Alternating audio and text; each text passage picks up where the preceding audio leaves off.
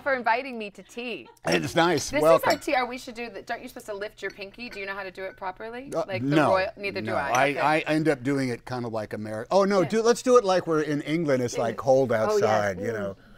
Mm. I think this is now just so you can say, you know, uh, Savannah Guthrie appeared at the Carlyle. That's right. I'm hoping it will enhance my What- reputation. No, what? Look, dump this uh, stuff. Get your own thing. It's just called Savannah at the Carlyle. Joining Savannah at Carlyle. Having tea with Tom. What's what? Come on. I know. I on. listen. I'm signed up. Are you signed up with me? You've Um, already been my co-anchor once. Listen, listen. You and I, you, we have like a road show that we could do now. We have a shtick. Well, I know we've been to Indianapolis. Yes, we We've have. been to D.C. a couple of times. Many right? times, Where, yes. Where you want to go? I don't know. Can it be somewhere warm? I don't know. Like Not th- Savannah and. Tom tour great spa locations Let's- of the world. All right, that's it. Cut to yeah. Wow, how about that? Us laying on just you know. Yeah. Do, let's do a shot of us. We're getting massages, and the camera's underneath those holes where you put your Yes, face. it's very And we could just talk to each other. Oh, it'd be very flattering. We could chat. Well, you actually. You're, staff, crack staff. I know Can you get on that? Let's you. get They're on it. waving over there. Bahamas first. They're waving over there. I mean, you actually you you meditate, right? I do. You're very much on the wellness path. I can learn a thing from you. Okay, you. all right. Uh, you got to maintain that temple, Savannah. You got to take care of so the mind. I've only been meditating. You know who taught I should stop meditating? Who? Uh, Jerry Seinfeld. Really? Yeah, I met Jerry. I, we, you know, it's a famous people's club. Hey, Jerry. Hey, Tom. We don't really know each other that much. I'm not ever invited. And I said, so Tom, what are you up to? And I said, well, I've been working. I'm taking a year off. Really? You're taking a year off? Why? Why would you take a year off? You know, they're comedians. So why would you take a year off? I said, well, I'm just really tired. I've been working like six years. Well, don't you meditate? And I said, no, I do not. I'm not. I'm not Goldie Hawn. I don't wear yoga pants, and I don't, you know, have wind chimes in my in my. You no, you've got to. I've been doing it since college. I'm going to teach. I'm going to have you taught how to. And so he did. He put me together with his teacher, and it's a it's a odd, easy, life changing thing. And should everybody do it? Sure, why not? Okay, let's talk about your new project. Did you like getting in touch with your inner crank? Hey, Otto. No. Don't you dare let that little rat dog piss on my walkway again. Get out of here. Uh, listen, everybody has one. Uh, and my my brat kids will probably tell you when is dad not in charge with his inner crank. See, no, wait. I have to stop right there because you are known by reputation and experience. Yeah, yeah, okay. As the nicest. Well, I like to use the word fascinating as opposed to nice. I am one of the more fascinating people. But listen, we have all been stuck in traffic, right? And someone up ahead does not use their turn signal, right? Mm-hmm. And if they would just do that common courtesy, everybody would know a little bit better. And then you weren't in, you won't end up swearing, you know, a blue streak at the people who did not use their left turn signal. Or, say for example, you pick a up a remote to your audio visual system at home. And you press menu and you press input and you press select and you do all those things and it never ever ever works. I'm going to tell you something right now. I once was trying to get a dvd to play and you and, and i kept pressing all the buttons. And you know what the dvd told me? Like literally in a little it said goodbye. It said goodbye. And I was just trying to play, you know, like Citizen Kane or something like that. So when that stuff happens, mm-hmm. I do in fact go absolutely berserk vocally for a long time. So you do. You have you have a dark side. It is when I begin any conversation with this, let me get this straight. Oh, that's, I'm gone. Oh. I mean, I'm already gone. Staff, does that not happen on occasion? Staff. Yeah, they're over there, so rolling their eyes. Happens all the time. Why would it work for me? Isn't that another one I always say? yeah. Why would it work for me? A Bluetooth, a printer Yeah. thing, a key in a lock, so I do- a I'm- coffee maker. I'm Why would it work for me? It never does. I'm feeling your grouchiness. You No, get- I'm, you've turned me into a believer. You're, you're, you're, I'm ramping up here. Staff, I'm ramping I feel up, sorry for you. See, this is what happens. It is true though that all, there have been whole profiles written about what a good guy yeah, you well, are. look, I'm a nice. You know, I wake up happy. You are a nice by- guy. People always large. ask me. I cut people a lot of slack, Yeah. and I like. Listen, it's all a self-defense mechanism to keep myself entertained. Yeah. I'm very selfish in that regard. When people ask me if you're really so nice, I say no. I'm just trying to enhance your reputation. What would you? Could, could you say something other than? Well, he's very professional. Have be very precise. He lives his life with a lot of fidelity. Can you say something like that? I say he is loving and warm to all he That's much better than the NICE E word because that makes me sound like a pushover. I know. I want you to have that I edge. am not a pushover. No edge, and I think Otto has some some edge, and I was glad to see you get out that inner grumpiness. Right, but yeah, I, I, listen. I wish I had lived a life where people would truly fear me, but I've tried to come in like angry. Oh, I just make everybody laugh. So you know, me. Hey, let me get this straight. You're so funny. I can't get. I, I can never get across that barrier. Tell me about what made you want to do this movie. I heard that you'd read the book and then you you saw. Well, actually, we saw the foreign film first. It was about five or six years you just ago. watch a lot of Swedish movies. Well, the foreign films at the time at the end of the year, because you know sometimes you get like packs. The, Oh, yeah. the, matter of fact, the Academy used to send out here are the five foreign films, Ah. and they're the, the foreign films are always interesting because they're off the cuff. They're about usually about another culture that we're not supremely uh, you know familiar with. You know, Asia countries from Africa. This was Sweden. You think you know everything about Sweden. And the, the movie is a man called Ove, which is from the book. Uh, and that he was railing against uh, sort of like the way certain societies work, particularly in the Nordic countries. That was all over in spades, and that really translates to the United States in a lot of ways. You can fight the system, you can be angry against the system. But there was a bigger element to it that I thought was this was a guy who has no faith in the future, you know, meaning that the, he can rely on nobody. He's a he's he, he's kind of like running the, the the the victim narrative. These people let me down, and those people across the street are no good, and no one looks after this except I'm the only one that cares.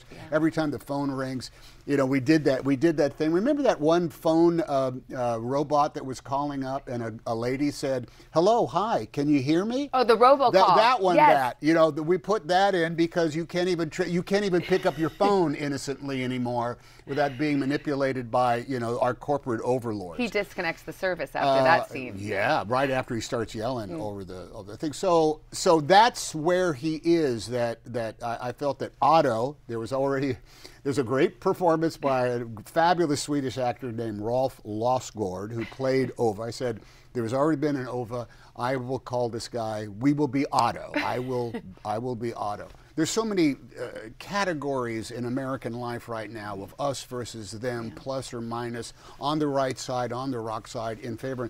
And I thought that was what that, that we could really tear tear up uh, uh, an examination of of that sort of theme. Because look, at the end of the day, a movie has to live up to the theme that's examining, mm. yeah, that it is examining. And you know, two hours is a long time to invest in, in this case, a man who has faith in nobody but himself. But it's not. I mean, it is. There are moments where you just cringe because Otto's so grumpy Right. and so mean. He's You're so like, right. Why can't you just say thank you He's to that correct. lovely lady across the street? Oh, You yeah, know, I but- get that. Well, we wanted to properly introduce ourselves because you know we're going to be neighbors and everything. So, yeah. so Okay. okay. Bye. Then you learn that at the bottom of it, like everyone, he has a story and a perspective, grief and hopelessness and Yeah, that, that, this is the thing that, that I think comes, and I, I, I must say that this is what cinema does for me as a moviegoer, is that you learn other people's stories. Mm. And no one is a stranger once you know their story. Everybody's a stranger if you jump to the, the stereotype of who they are and, and what they want and what they want. But as soon as you learn a little bit about a neighbor or the history of somebody, well, guess what? You end up saying, well, I've kind of been through that same sort of thing myself, so maybe we actually have some things in common. Granted, he has lost a number of common, uh, polite uh, discourse. He does not know how to say thank you. He needs how to say, you know, well, I have to go. That's not the same thing. He's not really fit for polite society. No, no. But he He's- changes. Well, like everybody does, he changes because some form of, you know, cyclone hits town in the course of his neighbor Marisol, who comes from a different culture, that speaks a different language, that is loud and noisy and doesn't know what the rules are. But if you look at them, they have an awful lot of things in common. And there's a moment where the very first time we met in the in the film, Otto comes running out of his house saying, "What?" Uh, his they're trying to back up a trailer, you know, and he comes out, "What is he? What in the hell is he trying to do?" And Marisol, Mariana, she says, "I know. That's what I've been saying." So actually, the first time they meet, they agree on how crazy something is, and that is actually a hint to how much they they have in common. She is extremely forceful in a I'm going to in a proactive kind of way, and he's extremely forceful in a defensive kind of way. They're both truth tellers in a certain way. Uh, hello. I called it. I called it Hurricane Marisol. It's like you know that thing that happens when like natural disasters hit a neighborhood. Everybody comes out. Yeah. Everybody starts cleaning up. Everybody lo- starts looking after each other. Mm. It's almost unfortunate that it requires that for a neighborhood in order to get uh, uh, start looking after each other. But there is something incredibly powerful, and not to, in a lot of ways, not to the natural inclinations of. Uh, an awful lot of people, it comes to an awful lot of Americans, to go across the street, knock on the door, and say, "You okay over here?" And the opposite, the other thing, the complement to that is knock on the door and say, "Hey, can you help me with Yeah. something right now?" Soon as that starts happening on a city block or in your neighborhood on a street, extraordinary things happen. It's a big theme, the found family, the family that not that you're born with, but the family you choose. Ah, that's exactly right, because you don't get to choose. I feel like I won the No, you did. Ding, ding, ding, ding, ding. Let's, get an A? the teacup. You, you have nailed it. You have nailed it. Everything after, you know, we, we marry the people we love. We have, our family is not a choice. We are born into it. But everything else after that is a choice, and it is what we choose to do, how we choose to look after our stuff, how we choose to treat uh, uh, uh, essentially the people that live within a hundred yards of you. Uh, that's where you get into the, the the I think the give and take of what is the what is your definition of a quality of life? Is it have some? Is it to be belong to something bigger than yourself, or is it your property and your property only, and screw everybody else? Can I say screw on the Today Show? oh, you sure can. What I mean is you take a thing and you screw it in.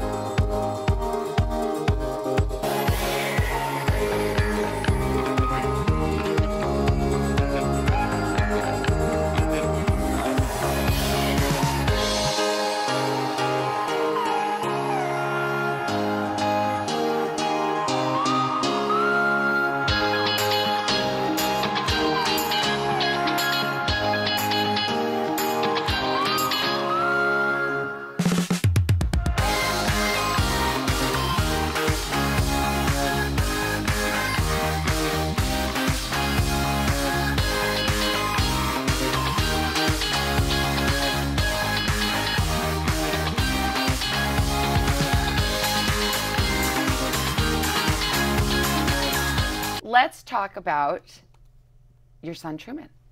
He, this is his first acting role. Were you kind of blown away at how he carried that part? I know you're biased, but I mean, he really Well, carried it. You have two kids, and I, you have already told me that they're both children of the Renaissance. They can do anything they can possibly imagine because they're the most brilliant kids on the planet Earth. Is that right? Well- I got news for you. No, they're not. My kids are. Uh, they're all four of them are just absolutely. Um, I got the all my kids are artists in these odd kind of like fascinating ways, and uh, Truman, uh, who is either burdened or blessed by resembling myself at the same age as him. Uh, uh, he's 26, and if when I was 26, we we, we resembled the we looked we looked an awful lot alike. Um, and uh, Marc Forster, our fabulous director, just says, you know what? It's always so fake in order to get somebody else to come in and play you because they never like look at it. Could maybe Truman do this? and and we said Truman has no desire to be an actor he does he is behind the camera he's actually in the union he's been camera utility wants to be a it has been a cinematographer and that's what he wants to do. But they met and they talked and we said well i'm going to stand back from this. I'm not going to put any pressure on anybody. And when uh, when our son said i don't know should I, don't know if i want to do this or not. It might be great. We said well the experience is incredible. Just understand. You know this is not autographs and sunglasses, man. This is showing up and hitting the mark and finding the truth and combating the the biggest. um the biggest barrier, I think, to being an artist, being an actor, is to combat self consciousness. Hmm. And that doesn't come naturally, you know, that can come after time. Did you give him any tips? No. Did he ask for no, any? No. I, he, I said, dude, there's only one way to do this, and that's by way of your instinct. Hmm. We compared notes on the character, but he's the younger me, so I was watching him. Probably, I, we just said, I said one thing: lead with your knuckles. That's the only, only, and whatever that means. What does that well, mean? it means when you when when you storm off and you're angry, Yeah. you just turn your knuckles out out to the front. Yeah, I don't know what that meant. That's very you- practical. you I cut- thought you were going to go deep. I thought that was like a you know a well, metaphor for actually, something. well, it alters your body. Yeah, Mm. it alters the way you storm off, and actually, it is kind of deep. You end up searching for all these things that are just going to turn you into the character. On the days that he shot, would you go and No, watch? no, I didn't watch a thing. There was a couple. There was one day where we were. He was in the shot before I was, and we said, "Hey, how's it? Hey, how's it going? Hey, I got the morning off." That's about all I said. But there, and there was one day when we were on the same set because he was a reflection in a thing, and uh, two things have to go on. One is I have to be occupied only with what I'm doing as old Otto. But then young Otto was there, and on the periphery, here is, you know, here's our son, you know, uh, you know, going about it. You got to treat him as a regular actor, but at the same time, you know, I remember, you know, I remember driving him in carpool when he was seven years old. So Yeah. yeah, that that crosses your mind. And it's his first role. I mean, I know how I feel when my daughter does the five-year-old's Matilda. You know, I'm Okay. sitting there like hoping she's gonna Yeah. hit that line. Yeah. Did you feel nervous for him? Or Uh, scared? yes, but uh, there's only one way to do it, and that is to wrestle the beast. Yeah. You know, it, I, I saw him. Look, he played uh, Danny Zuko in uh, in Grease uh, in junior high school. I was more nervous for him for that than I was in the movie. Because the good thing about a movie is, hey, if it's no good, it's not going to be in the movie. They they will they will they will cut around you. Maybe I did. I might have said that too. Oh, that's comforting. Well, no, because oh, that- don't worry, they'll just cut your part out. No, no, it's, it's actually said you don't. You are cranky. You don't have to. You don't have to worry because if it stinks, it won't be in the movie. Oh. They'll only use the good parts, Okay. you Oh. Know, if you're lucky. but that's also kind of like a, a sentence as well. But it is, a, hey, let go, just let go, because if it's lousy, the director won't use it. Is, is that a good thing to say to anybody in a movie? I Well, don't know. when I interview him, I'll ask him. Okay. How was your father's advice? I probably I, I don't know. I, I I actually maybe I said this stuff or not. Maybe I was a benevolent presence or not. I have no idea.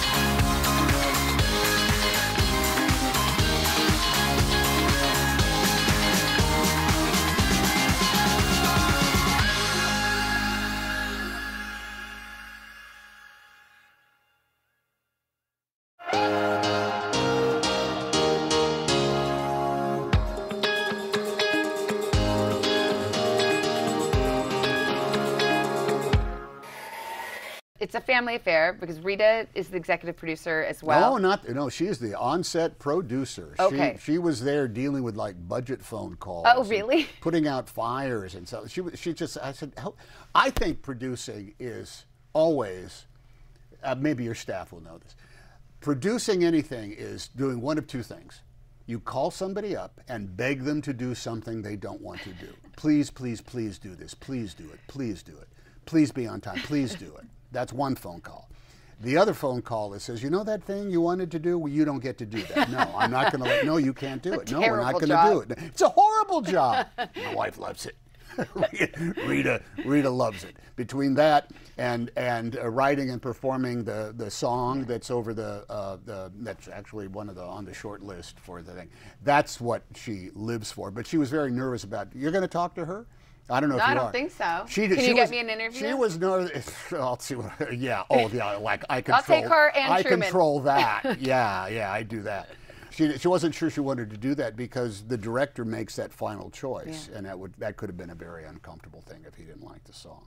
Well, they'll just cut you out if they don't like it. Uh, that's, what my friend happens. told me. That- I hope that happens on the Today Show too. If it's I not wish a it great would. moment, they'll cut it out. No, it's live. Cut to the weather. Just this like is this. not live. This isn't. Okay. uh, well. th- th- No, we would right. put you on an eight second delay in case you're going to. Hey, why? Because I'm so cranky? In case you might say screw or something that we'd have to bleep somebody. out. By the way, if you did that, what would be wrong with that? You know, What, cutting just, it Just out? bleep somebody. Just bleep, bleep, bleep, bleep, bleep. Might We've had. To, I think we've bleeped from time to time. Oh, really? But not for me, I don't think. Well, I might have once. But anyway, we digress. Oh, well, I'll ask your crack staff. You- One of your co-stars is a scruffy cat. Schmegel. Schmegel the cat. I said right off the bat, you guys are insane to make this a cat. You're not taking over my bed. Cats are untrainable. Make it a dog, man. Dogs learn everything. Dogs, God, dogs will look at you when you're on the spot. Cats will only do exactly what they want to do. And it was true with Schmegel. It just so happened that he didn't mind making a movie after a while. He fled the set a couple of times in which everybody just freezes. And the animal, you know, animal folks say, you know, they coast it back. He just, and, but other times he was just, he laid right where he wanted to lay and looked at me the way he wanted to look at me. And he's a cat. Diva, you know, I think you've answered my question, which I was afraid would divide America. Tom Hanks, cat person or dog person? Oh, I like him. Well, uh, we I we had a dog. The only reason we now you're stammering. I know it's a very difficult question. But it oh screw this. Um, Bert. My it just so happens I'm married to somebody who is allergic to cats. Okay. So that takes the cat out of my responsibility. Okay. And we do have had plenty of dogs. I happen to enjoy them both, and we would probably lived in enough places we could have kept them separated. But with with uh, with a lady allergic to cats, uh, that's that. Well, I happen there were Saved by the bell. Schmegel, and you can see Schmegel Bagel. Uh, there are plenty of times where I got to this place where you know an arm up underneath, and is you know he's hanging there like that. Yeah. He seemed to be very, very comfortable in my hands. Yeah, my and- arms, and you comfortable with. Schmegel as well. Oh, I love Schmegel. Yeah, Yeah. okay. Good kitty cat.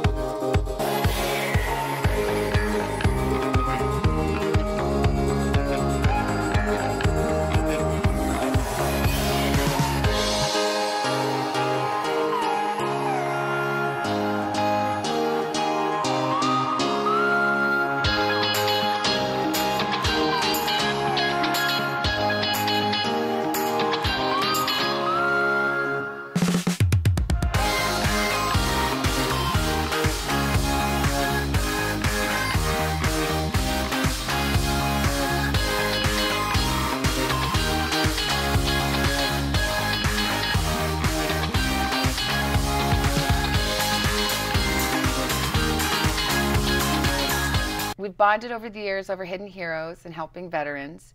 I hear that you have a coffee Yes. for veterans. Yes. Hanks. Is Right. Hanx Coffee? H A N X. H. A N X. Is it It is. a shot of you have. a Uh, shot of caffeine, or is it smooth and I kind find like the that real there's Tom nothing. Uh, taking uh, my cue from corporate America, I find that there's nothing wrong with trying to be- get people just to try just once a legal addictive stimulant Yes. uh, that tastes good and that they might want to do it again. It is. Uh, I've worked with some really great, fabulous coffee roasters and suppliers uh, down in Little Rock, Arkansas.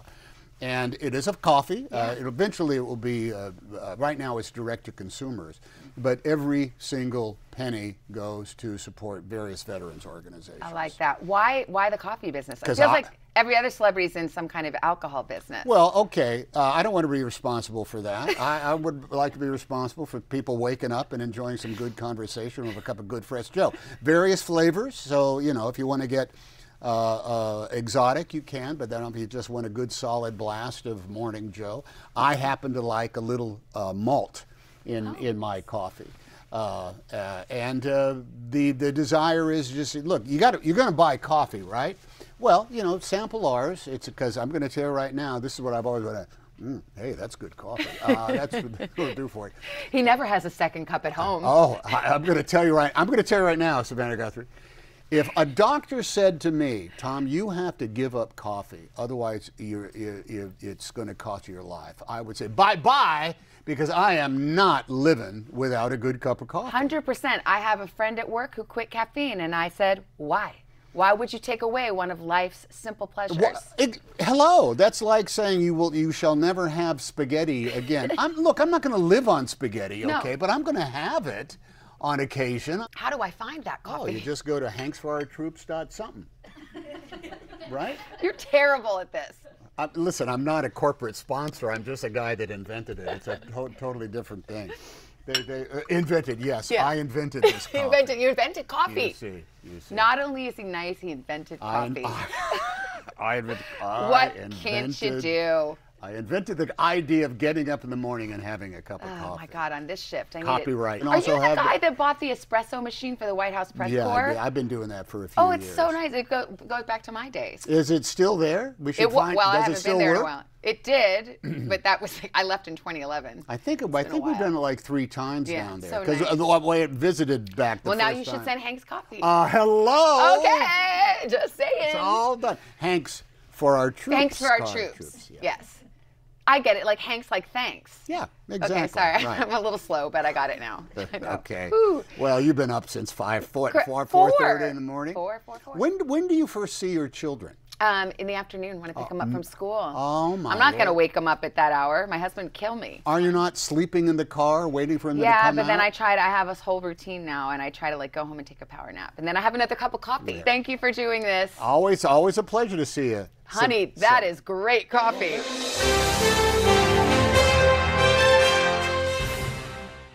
Welcome to Today All Day. All day? Today, all day. all day. This is a long way of oh, man, asking yeah, who's your favorite okay. character you've ever oh, played. The unicorn. The unicorn. You gotta have the unicorn. What is she right there? That's why you're saying all these nice things? Yeah, she gave me the, the look. Sorry to disturb your day. Everyone's mad at you, Willie. Better make this fast. I don't want the wrath of Luna. When I see you, I always think, I wonder what his quote would be. Give us six minutes and we'll ask as many questions as we can. Welcome to Cold Cuts. Cold cut, cold cut. my buddy Cal cooking with me. Dads don't babysit. It's called parenting. What was the first book you remember loving? Heart Smart today with simple exercises to strengthen your heart. make the most of your beach days. It's all about the tracksuit now. How good do they look? I now pronounce you husband and wife. Kiss the bride. This morning, a story of people helping people. You've received tons of letters from people who have been inspired.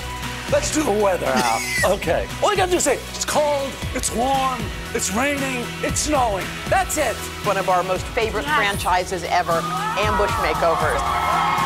Look at it. It doesn't look so good. No, it doesn't look good. Will you judge us in a cook-off? I will, and you guys will definitely win something. Today, all day. All day? All day. Welcome to Today All Day.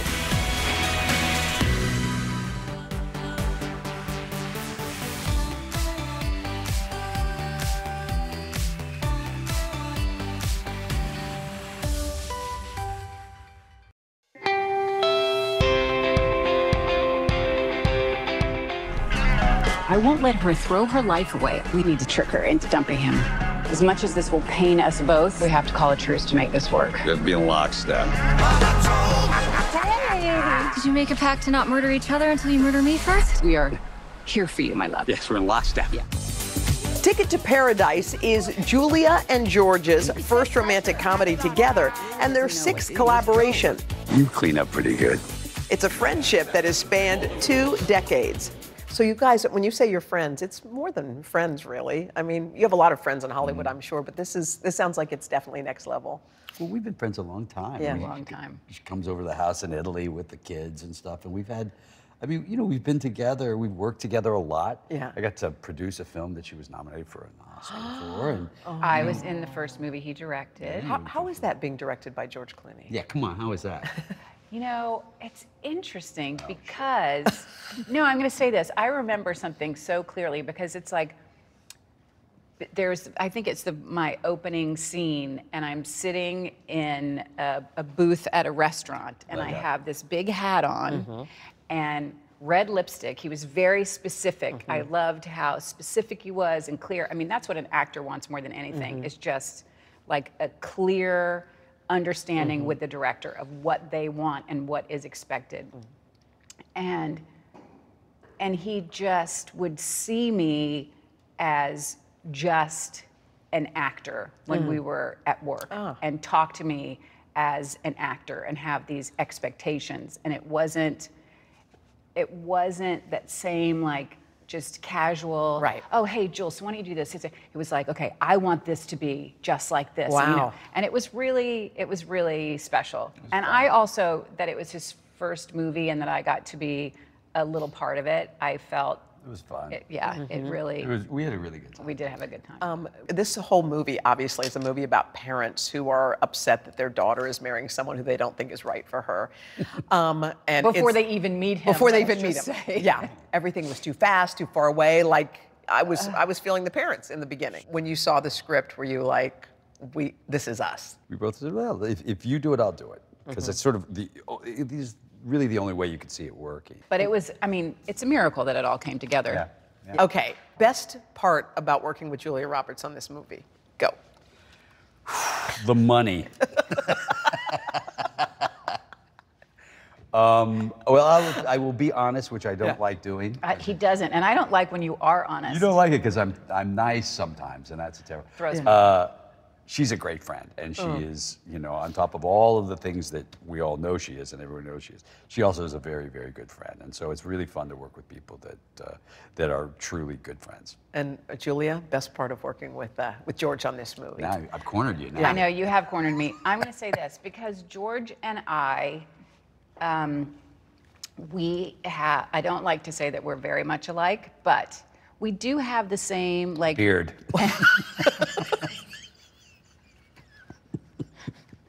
How much time do we have here? We're going to get like three and a half questions out. Um, we have the same energetic spirit. Yes. At home, mm-hmm. and not. I said that like we live together. We do live together, which is a very weird for my wife and Danny. But at work, we both really like a joyful, exuberant Yeah. work experience, and we we take that sort of leadership very seriously in a mm-hmm. way to be to be relaxed, to make other people Yeah. relaxed and and happy, and so being together on set is such a in a way it's a continuation of our of our real life together Yeah. which is just singing songs and carrying on and I don't know how y'all didn't crack up through each take. I mean, I watch you two, and the banter seems like it's happening in that moment. You learned that to make me look bad. You don't need my help there Uh, are y'all ad libbing some of that, or is it all? Not much. Well, no, we, had, a- we had a fair amount of ad libbing, especially in the drunken scenes. But what it would be too is they would put us with a group of people, like at the graduation, where Oh, we sort of have an Yeah. audience. Then we can't be stopped because we're trying, we feel it's our responsibility. They have to sit there all day to entertain them. And so we had a different searing joke at each other. Yeah, there were time. there were a couple where you know you, you do it, and then we both stop and like go, "Is this the step too far?" Is This too mean. And we finally ended our friendship.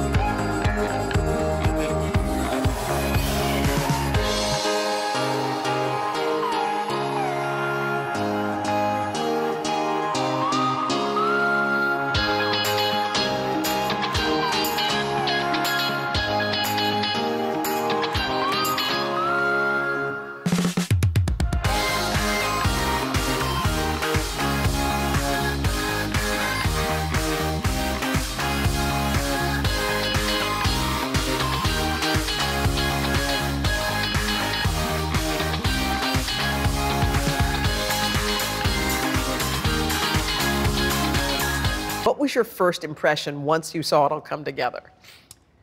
I thought, you know, it just felt like a salve, uh-huh. an hour and a half salve. I remember you saying to me though, when we saw it, and you go, "You're so mean to me." I was shocked actually. Really? I was re- I had Yeah. forgotten how really s- some of it was kind of searing. Ma'am, I need to sit somewhere else. I'm sorry, it's a full flight. We used to be married. the worst 19 years of my life. We were only married for five. I'm counting the recovery. And because I've gotten away from it and George hasn't said anything mean to me in a week, I was like, I could do it now. Well, there are the meanie parts, which are fun to watch, and there's also the kissing part. Is it awkward to kiss your dear, dear friend? it is when my wife and kids come by to visit. Remember? came, that, was the first day they came to visit. It's like, Papa, oh, Auntie Juju. It's like, ah, get him out, get, him out. it's really bad. What are you doing, Papa? What is that? they didn't, They no, didn't they see were it? they were around. Who wants ice cream? Do y'all laugh when you're kissing? Is it funny or is it? Are you trying to? Yeah, we what- laughed. It was funny. Wait, It Julia, made us laugh. Yeah, it was. It's kind of ridiculous. I mean, because listen, you know, it is like kissing your best friend. And Well, then, thanks for that. And then. You know, I was a, you know, I was the Wait, two-time sexiest Then man you go, alive. wait, my best friend's George Clooney. Yeah, come Maybe I on, better man. tune in a little bit, and but then you just can't. My favorite. Boy, you really, you really helped my reputation. What about from your end? From my end? Yeah. Yeah, Well, I didn't really kiss from my end. I, we were were doing it right on the lips. Um, Open that door, Hoda. Mm-hmm. uh, we, uh, no, it was fun. Look, I, you know, we knew what we were going to Yeah. do. We knew what the job Yeah. was, and Yeah, it's funny. professional. We were very professional, but it does make you laugh. And that was the day too that it, the first time in my 30 years in show business, I had a 3:30 call. Never. 3:30 a.m. Uh huh. Is, that's when you get up every day, I know isn't it? that's our speed. So wait, what was it? This Yeah. is not my speed, Yeah. and I'm an early riser. And I was like, 3:30. Are you sure about this? Because they wanted the sun to be rising while we were kissing. and this whole thing. And so I think it was also a, a ploy of Ol's. He thought if we're exhausted, if he has us tired enough in that moment, We that we around. might be serious. Yeah, he was wrong. It was beautiful. By the way, my favorite part of the there's so many great parts, but y'all with your drunky monkey dance. Dad, please stop doing that. Ooh, yeah! People are looking. Was a I thought 10 there was some I plus. thought- come on, I thought that was some good dancing, didn't you? I did. I mean, you know, I kind of did. I was kind of into it. those were our moves, man. Tho- yeah. For real? Well, Yeah. actually, if you think of like about 20 years ago when we were doing Oceans, uh, we had a party. Remember in, in Yes. Vegas? Uh huh. Pretty much the same moves. They were the same moves to different effect, and Yeah. we were actually drunk. Y'all did look drunk in that Yeah. thing. It looked like you were really putting them down. Was there any ounce of those drinks that were actually real beverages? no. No. I've never done a, a, a film with Julia that I was sober. I don't think ever, really. It's, it's hard, you know. We- They're like, you're going to kiss Julia. Just leave the bottle. Just leave the pop. Um, no, it, there was no drinking, although when we watched it, we, we thought we were I was really impressed with how drunk and loopy, and I, I, think that was some of our best acting. Well, the young kids just were so. It was they were shockingly embarrassed. the first take watching us because Ol was like, okay, I'm not even going to pretend to tell you guys what to do. Just, Yeah, just stay in this area. Yeah. And uh, and we sort of took off, and they were like, they were stunned, they were paralyzed. We and we thought we were really funny, and they didn't. Remember, they were just kind of staring at us like we were in the zoo, and we were like, "Pretty funny," huh? and they're like, "Oh my god!" You're like, you know, they're rolling a camera on you guys, right? Everybody's going to see it. Dinosaur move. I am praying for an asteroid. they can see what it's like to get old, and it's terrifying them, you know.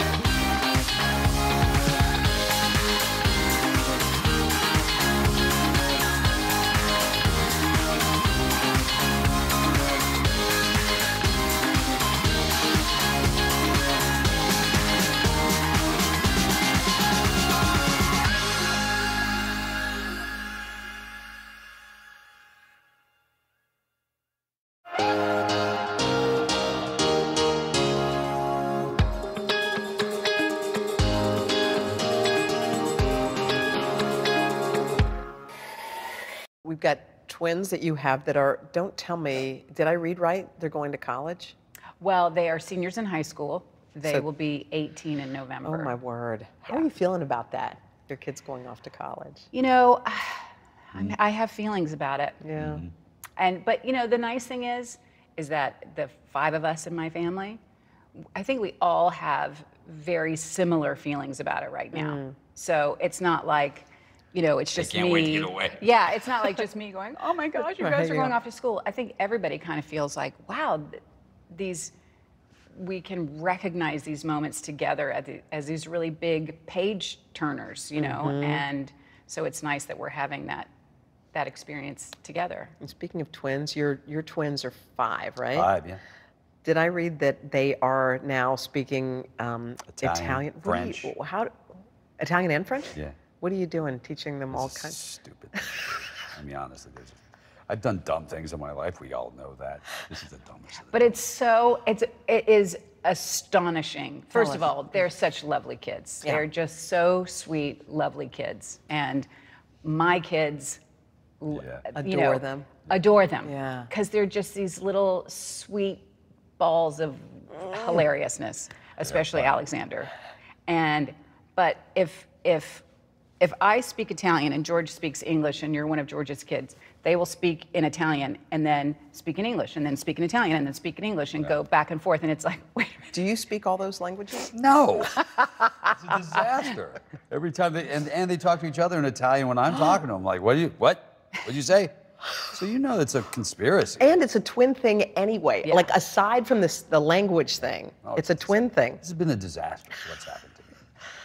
Do you know you are sitting next to a man hmm. who has never been in, in an argument with his wife? Hmm. Well, I've Is been that- in wait. an argument with you though, so Yeah. it works out. his work wife.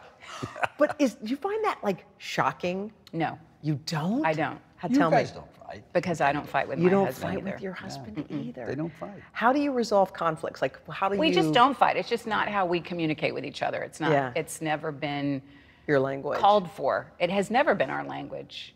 But you just have ways of resolving conflicts in your house through just regular conversation and stuff.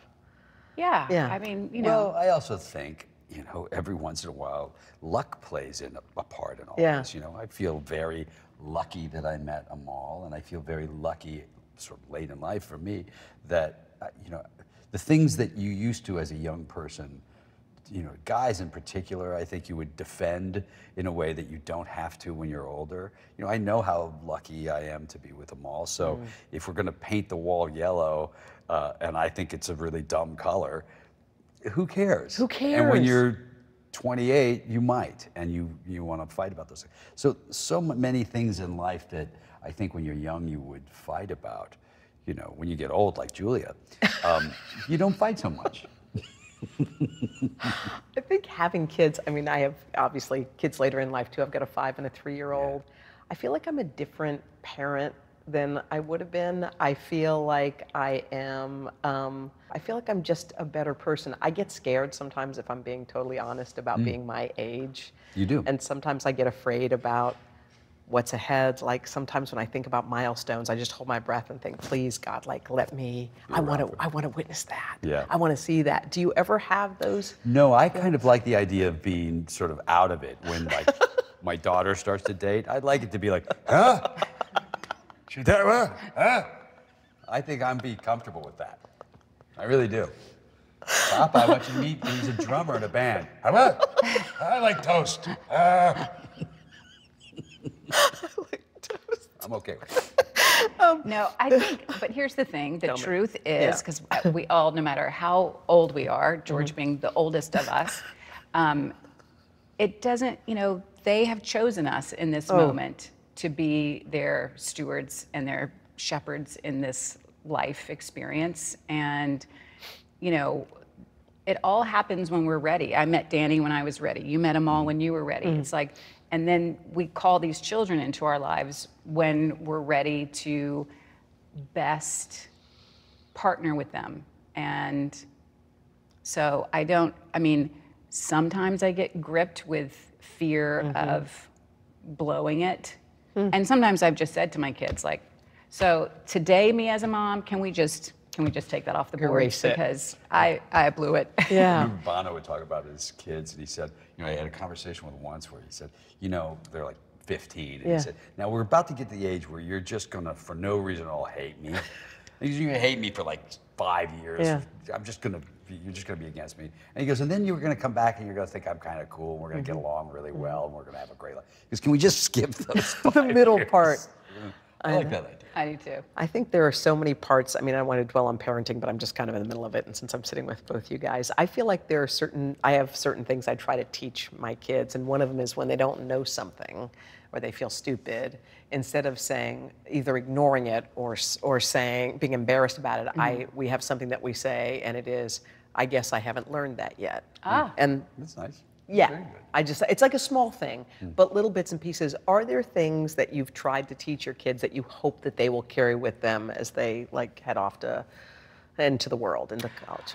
Well, I mean, uh, my kids are a little older, and I feel like the one thing that we've always tried to instill in them is to just remember who you are when you're out in the world. Mm. Remember that you, as one person, or representing five people, Mhm. and just to conduct yourself in that same Mhm. way that you would when we're all together Mhm.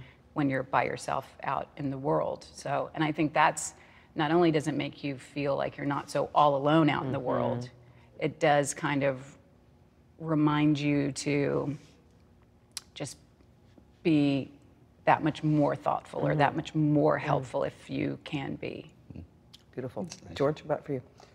I guess I haven't learned that. I knew you were going to say it. I was waiting for it. Oh, I love that you did it. Okay. You're gonna tee it up for me. I'm gonna take it.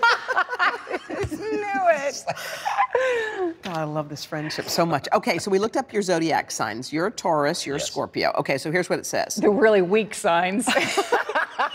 they are opposite signs in the zodiac, giving them a special complex connection. Mm. They can combine to make a whole, each partner's strength balancing the other's Quiet, weaknesses. quiet, quiet.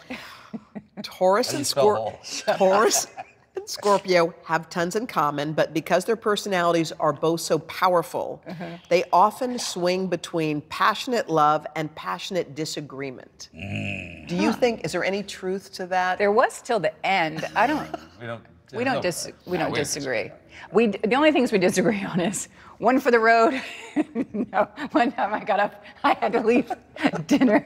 Oh. Okay. what are you gonna tell? I don't even know No, one time I had to leave dinner because I had to work the next Yeah. day, and we're all sitting there at dinner and we are having a beautiful dinner and drinks and having this great time. And I said, "I'm so sorry, I really have to leave." And I get up in this nice restaurant, and I start walking out. And George goes, "Quitter! Julia Roberts is a quitter." Yeah, you gotta throw her under the bus every once in a while. Yeah. You know, somebody Uh, has to throw her under the bus. Everybody's, oh, Julia. No, So no. that would That's be- what you do. Those are our disagreements. I love that. Do y'all think you'll be working again together in a movie? It's not gonna happen. I've learned my lesson. You know, it took five or six times, but I've learned. You know, no, no, no. Meanwhile, he's put me in his contract. He can't live without me on screen. Of course not. Yeah, why not? She's also the best available. You know, really. Available. I love you guys so much. good to Thank see you. you. Go It's so take fun a nap to, now. I know. It's fun to watch. we wear you out.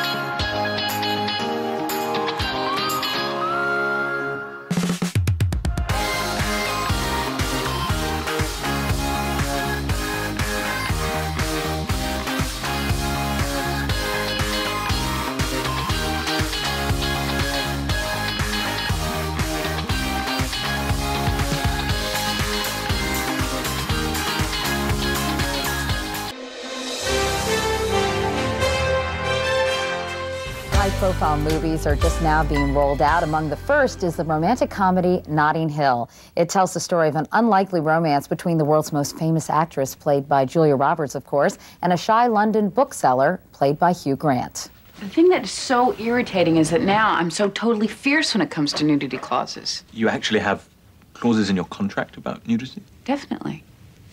You may show the dent of the top of the artist's buttocks, but neither cheek.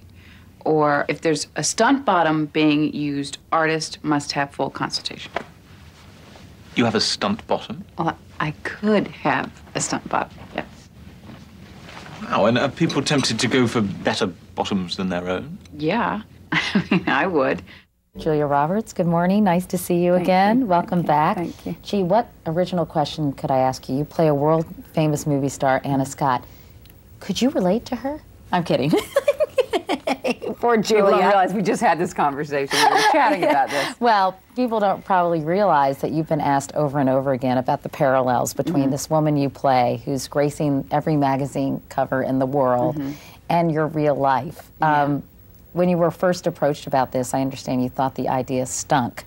And then as you read the script, you thought, I could really do this. What was it about the script that make, made you think you could take the plunge? Well, because I felt that the story was so beautifully constructed, and I felt that really the idea of her being a um, famous actor was just a great contrivance to show real extremes of people's lives and, and how to make things that are so drastically different work. Because I think these two characters are different on so many levels, culturally and just sort of their upbringing and all that, separate and apart from their jobs. They really are. I mean, she's Yeah. like the princess of popular culture.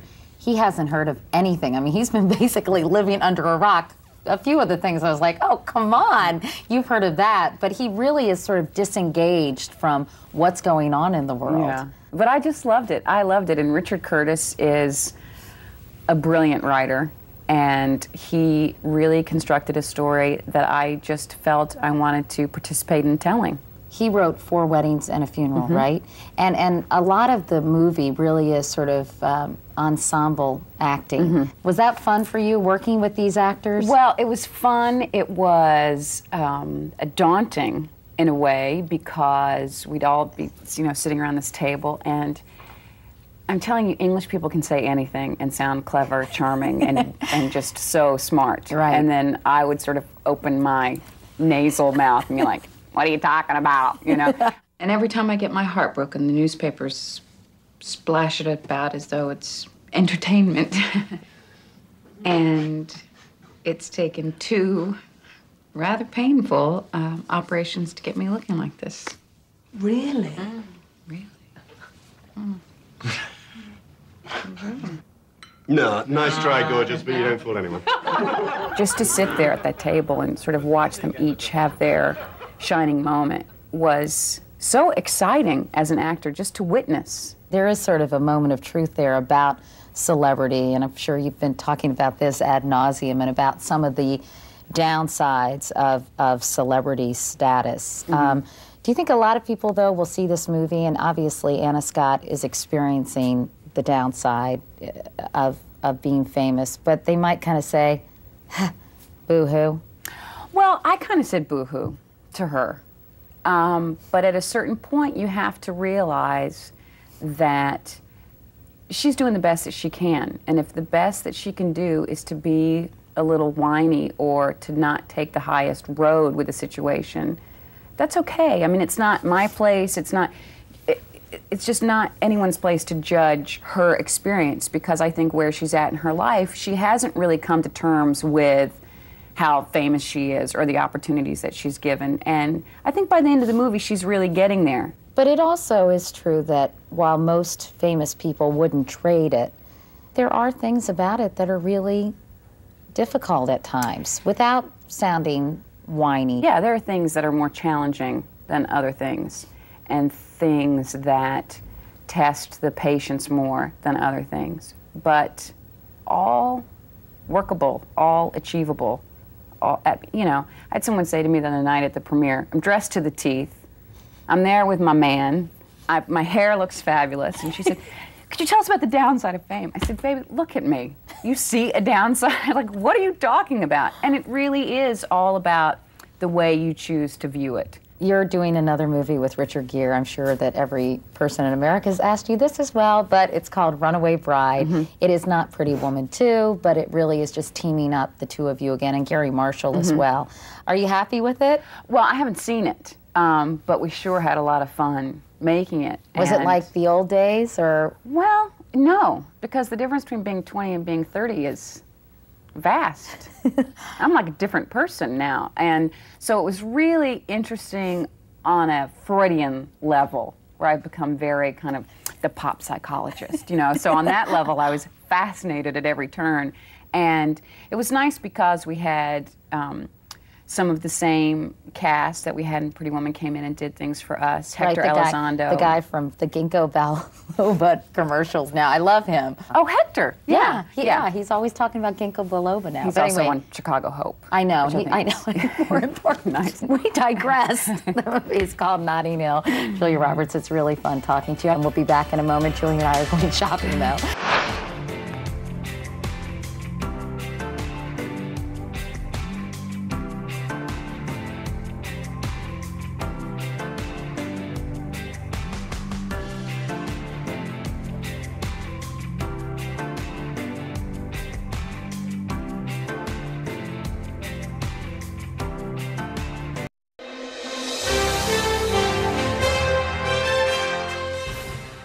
Name's Jon Stewart.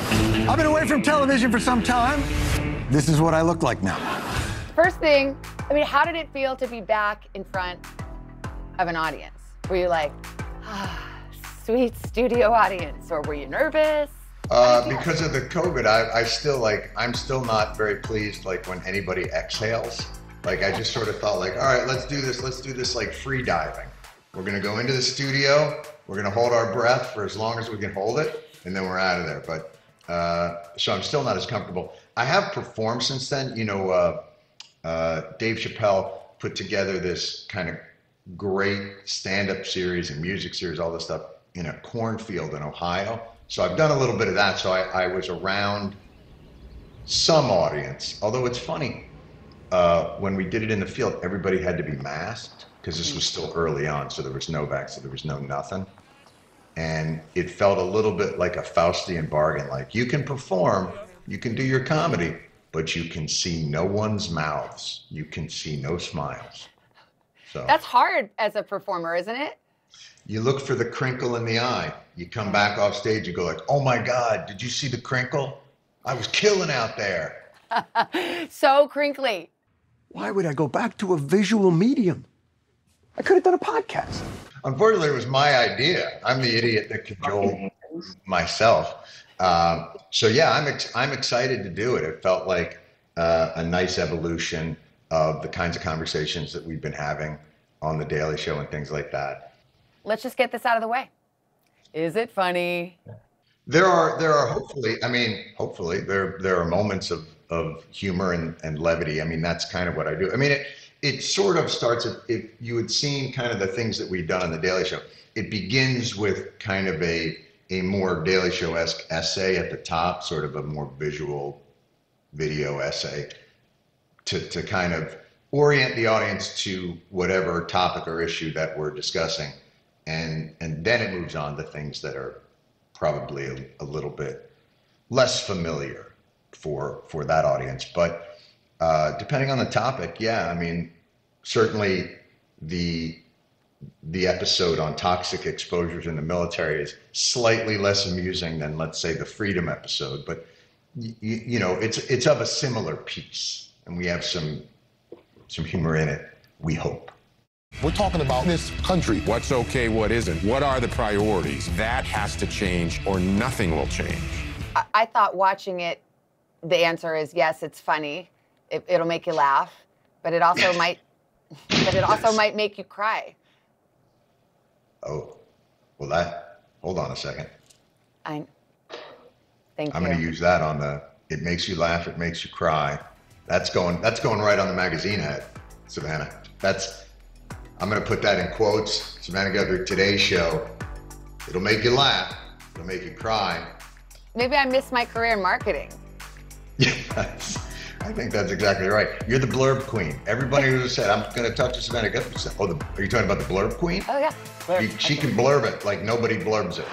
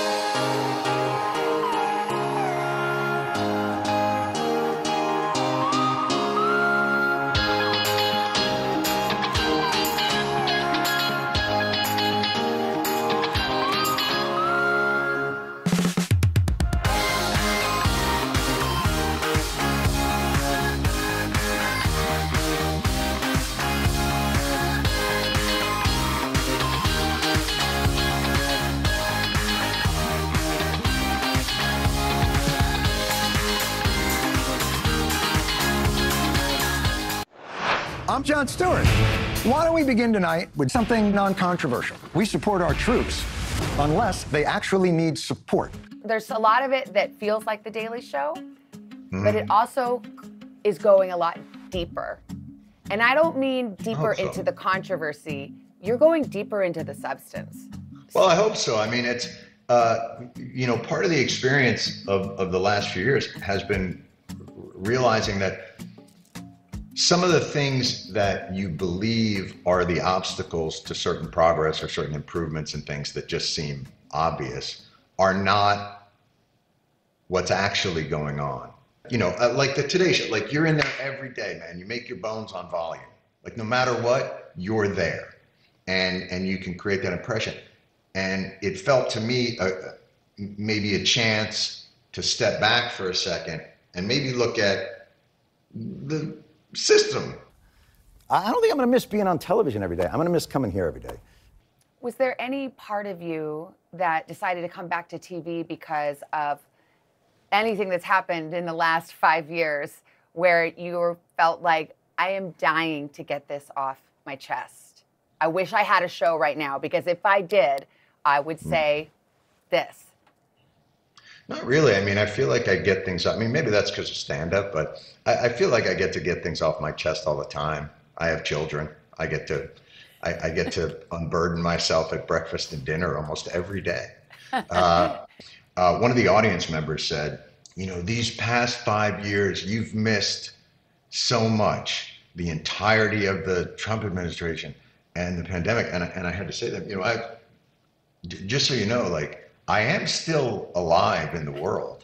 Like it's, you know, I think there's a sense sometimes that when you're not on television, you stop existing because that's how people sort of see you.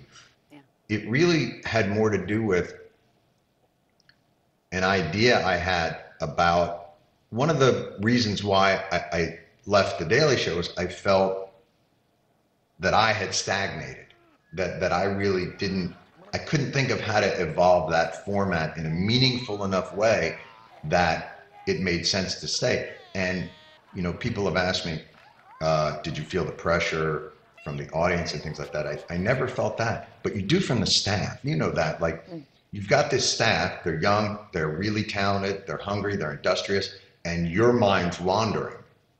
I love the people here. They're the best. They're creative and, and collaborative and kind and, and that's alliterative, but it's cheating because it's a K. But you, you, you, you, you understand what I'm saying. They're, I love them and respect them so much. Uh, yeah! And so that's not fair to them. Yeah. Uh, and this idea that I had w- was the first time I felt like, oh, that that feels like an evolution to me that makes sense. that's organic and that I'm I feel invested in. And so that's I think that was more the motivation of it. And also the, the children and and Tracey have had enough of me. I think that was a lot of it as well. They just thought like, you know, office in New York, get up there maybe three, five times a week. Not a bad thing.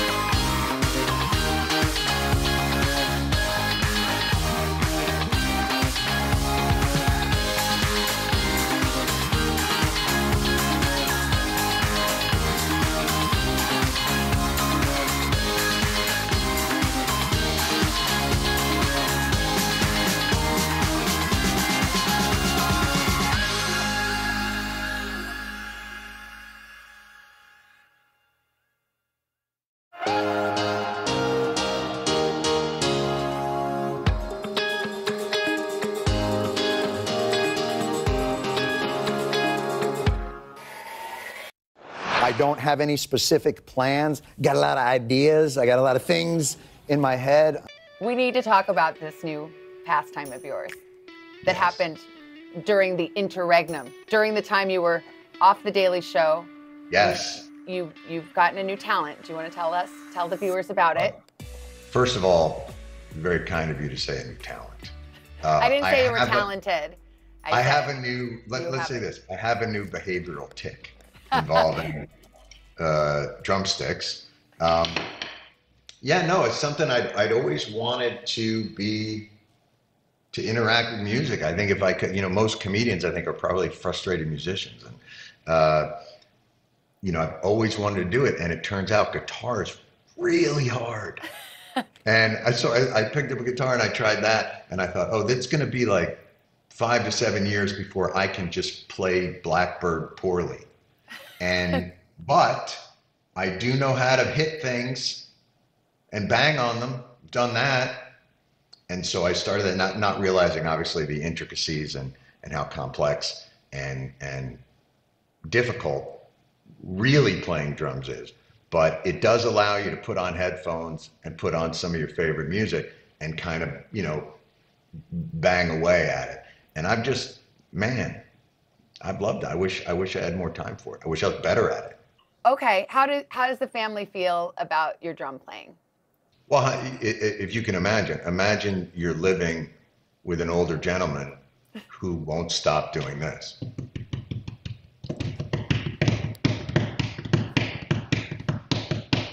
Hey man, how's the pizza?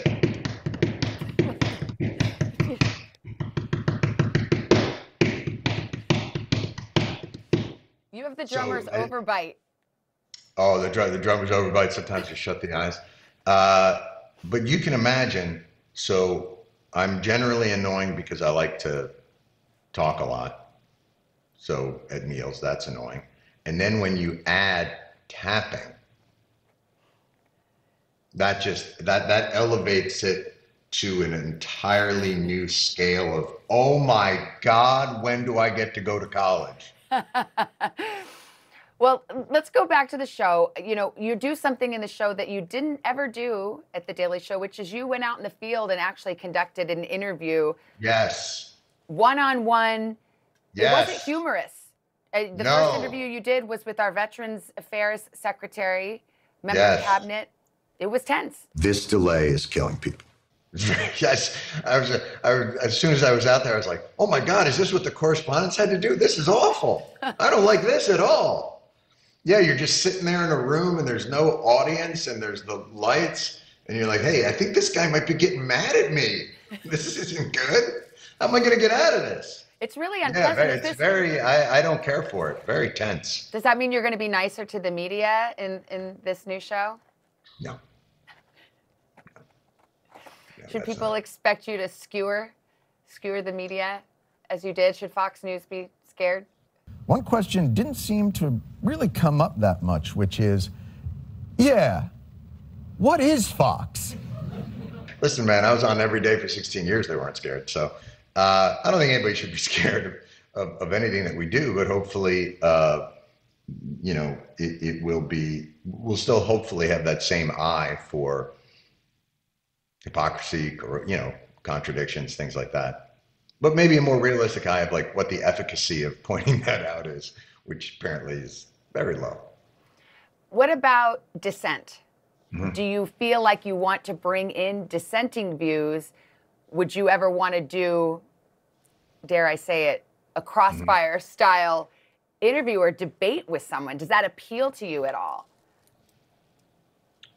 I mean, d- debate is always, I mean, an- anytime you have an opportunity, I mean, I think that, like the interview that we did, it, it wasn't necessarily crossfire, but it, it certainly wasn't two like minded individuals sitting down. I mean, I think you always want to hear, I think the question is, is that idea of opposing viewpoints mm-hmm. because it, it sets it up as a, a kind of a binary.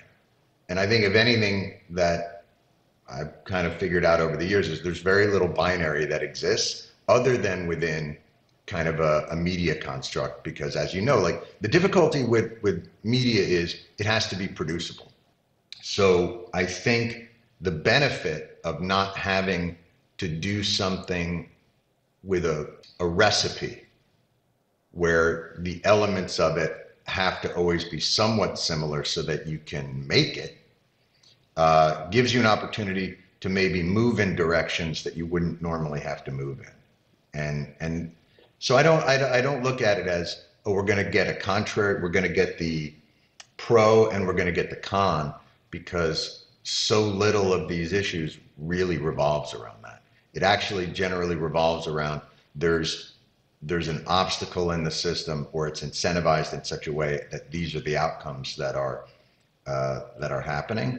So it's more, you know what I would imagine it is in some ways? It's like WebMD. It's diagnostic. And and I think it's sort of hard to figure out what to do about something if you're not if the diagnosis isn't quite right. And so I think part of this is diagnostic. What's really the problem with Jon Stewart? That, that's right. you hope, I, or or not, or it could be could, this could be completely wrong. You know, that can be sometimes the problem with something that's theoretical. Is you have this idea of how you want to diagnose something, but when you're met with the reality of it, it's it's quite different. It's been six years since The Daily Show. Is there Mm-hmm. anything in your perspective that has changed, or any new information, or just your own evolution that you're bringing to this show that you didn't have six years ago? It's it's hard to say because that's you probably have to be a little bit more self-aware. you know, like I'm trying to think like, what have I learned in six yeah, I mean, years? I'm Like, basically asking you, like, have you grown, Jon Stewart? yeah, I don't know. I mean, I you, you hope, but um, but that's one of those that I think it's it's hard to say. I mean, I I can certainly tell you, physically, I haven't. Um, in fact, the opposite.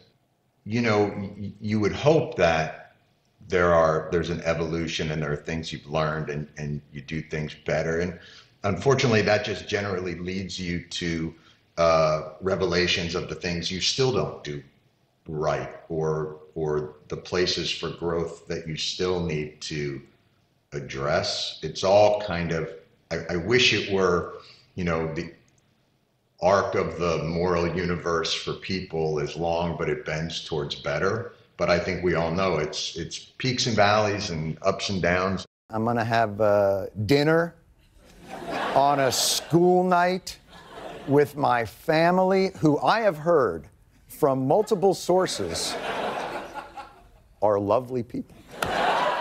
You like you like to think you're on that kind of nice linear slope up of of evolution and and betterment. Uh, but boy, it's it's Sisyphusian. Sis, is that a word? Sisyphusian. Uh, where you dictionary.com kinda- you- you-. Yeah, there you go. You grow a little bit, you slide, you think. You know what the problem is? The problem with Jon Stewart is you don't know what your blind spots are because you're blind to them. And so you can shine a light on one area and grow in that area, and all of a sudden this other shadow appears. And, you know, I think that's kind of the. That's that's the whole game, isn't it? It's very human. It's very, I mean, that's it. It- yeah.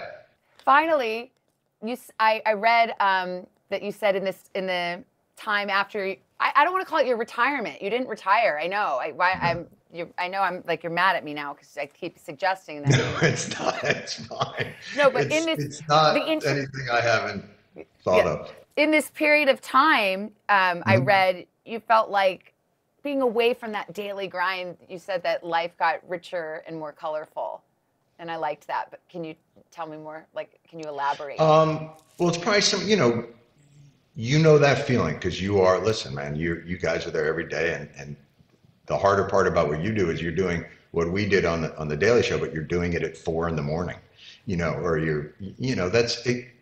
That's not a complaint. Everybody's got a job to do, and and those jobs have parameters. But I felt like the Daily shit you you, it's like looking through life through that that tube, you know, the cardboard roller that you pull out of a paper towel roll. And so you have a sense that that, that kind of becomes your world, that you're, you're so hyper focused on this one thing that it gives you this really narrow field of view. And then when you leave it, there's this expectation that you've somehow diminished your life and experience by removing this incredible opportunity you had, this incredible success you had. And so you you remove the tube and then you go, oh my God. It feels like one of those videos where the guy puts on the glasses for the first time and sees colors, where you're just like, oh, it's, I had no idea that all this was going on. Uh, and and it it was kind of a beautiful, there was a weird, I think for the first few months after leaving the show, I was a little Forrest Gumpy. Like just out in the world, like, how, what? You don't need to swipe the card, you just hold it up, and suddenly the groceries are yours? Impossible! Outrageous! I love it. You know, it was that kind of thing. So, You're emerging from like the space-time continuum. yeah, there's a little bit of Rip Van Winkle to it. And I think, even to the point of just being able to pick the kids up from school, you know, I, I had experienced fatherhood in the crying times. Like it was always getting them ready for school or getting them ready for bed. Yeah. So it was always those moments of like, I don't want to do that and I don't want to do that. And you were like, hmm, these children seem peculiar and resistant. Uh, so having those moments of just picking them up from school and driving them home and listen to the conversation in the back where they don't aren't as aware of you're in there, it's so much more revelatory and and lovely. And uh, so I really appreciated that, and I think that informed how I went back to doing another television show.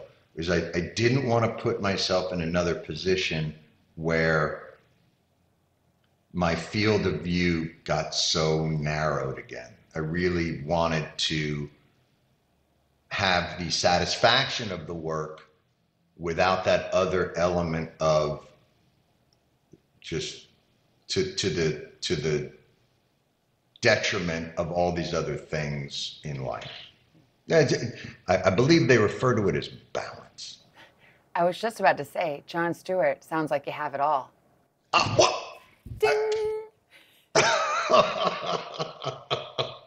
I was looking for a good little ending. How do you like that as an ending? It's it's nice. Obviously, you know, you have it all, but still live within my own head, which, Yeah. you know, as you know, not a pleasant. That's not a good. Not This isn't a good ending. Now you're like just you're messing it all up. Now it's getting all complicated. Yeah, that's probably true. That's probably true. Sorry about that. Thank you so much for doing it. I, did I miss you. anything that we should have talked about? That you were having on that you wanted to get off your chest? That I did I screw it up? I was a little surprised, you know. I asked my doctor, why is my hair completely gray? And he's like, you know, your body stops producing the, the coloring. And I was like, is that, can your body just do that? Like, so that was just something I wanted to talk about that. I didn't realize that parts of your body die before the rest of you.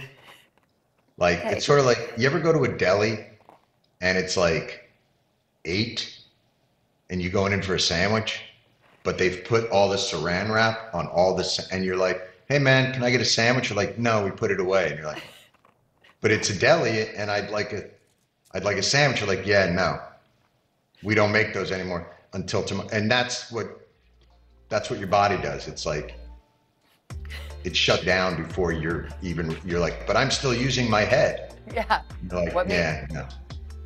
Okay, I'm gonna try to. no. Okay, I'm gonna try to work that in. It'll flow. Uh, let me see what I can do. But I'm not a I'm not a magician for God's sakes.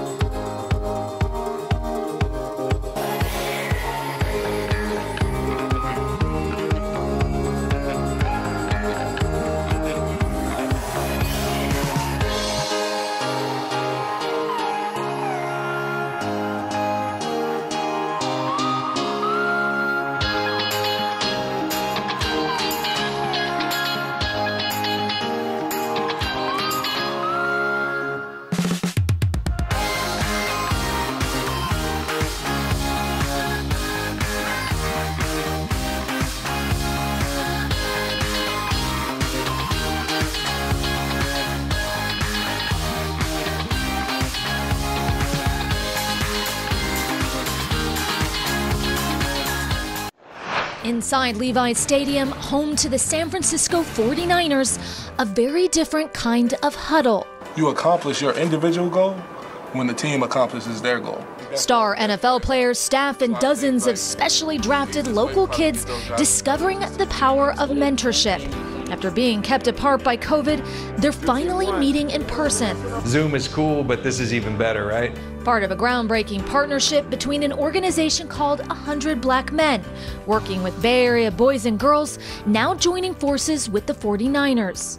Sharing stories and advice on leadership, networking, health and wellness, and financial literacy. Football is only for so long, but us touching one of those kids, that lasts a lifetime. Linebacker Fred Warner and defensive lineman Arik Armstead are some of the biggest names in the game. We play football on Sundays, but you know we also have a lot more to give than just playing football. What you do outside of the stadium is as important as what you do inside. Absolutely. You More know, important, more important. There you More go. important. Why? What you do inside the stadium obviously gives you the platform, but what you do with that platform is more important. Uh, it's more impactful. Even if you know you're fortunate enough to get your name up here in the stadium, that will go away. But uh, how you impact people and how um, you help people will remain after you're gone.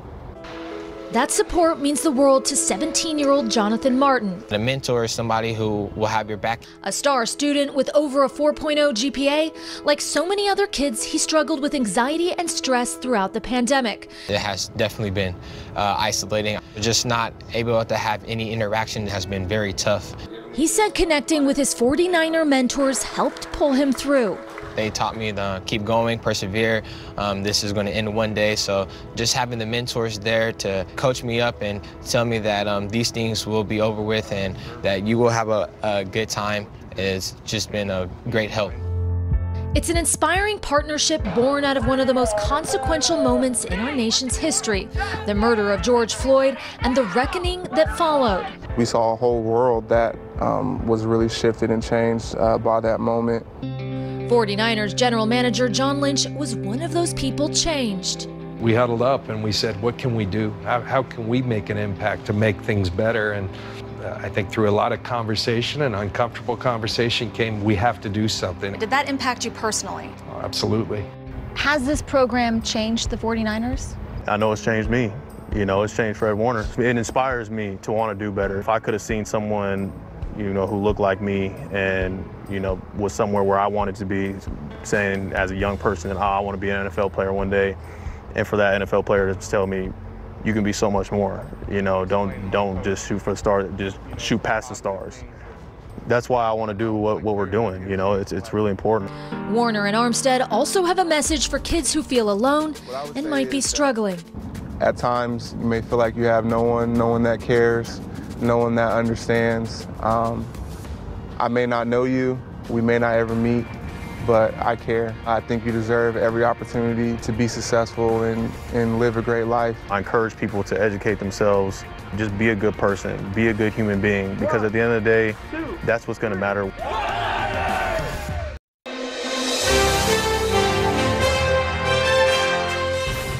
Hey guys, so a lot of people think you can get concussions by doing really dangerous Hollywood stunt stuff, but the reality is you can get a concussion by doing something easy, like, whoa, that's slippery and I just fell.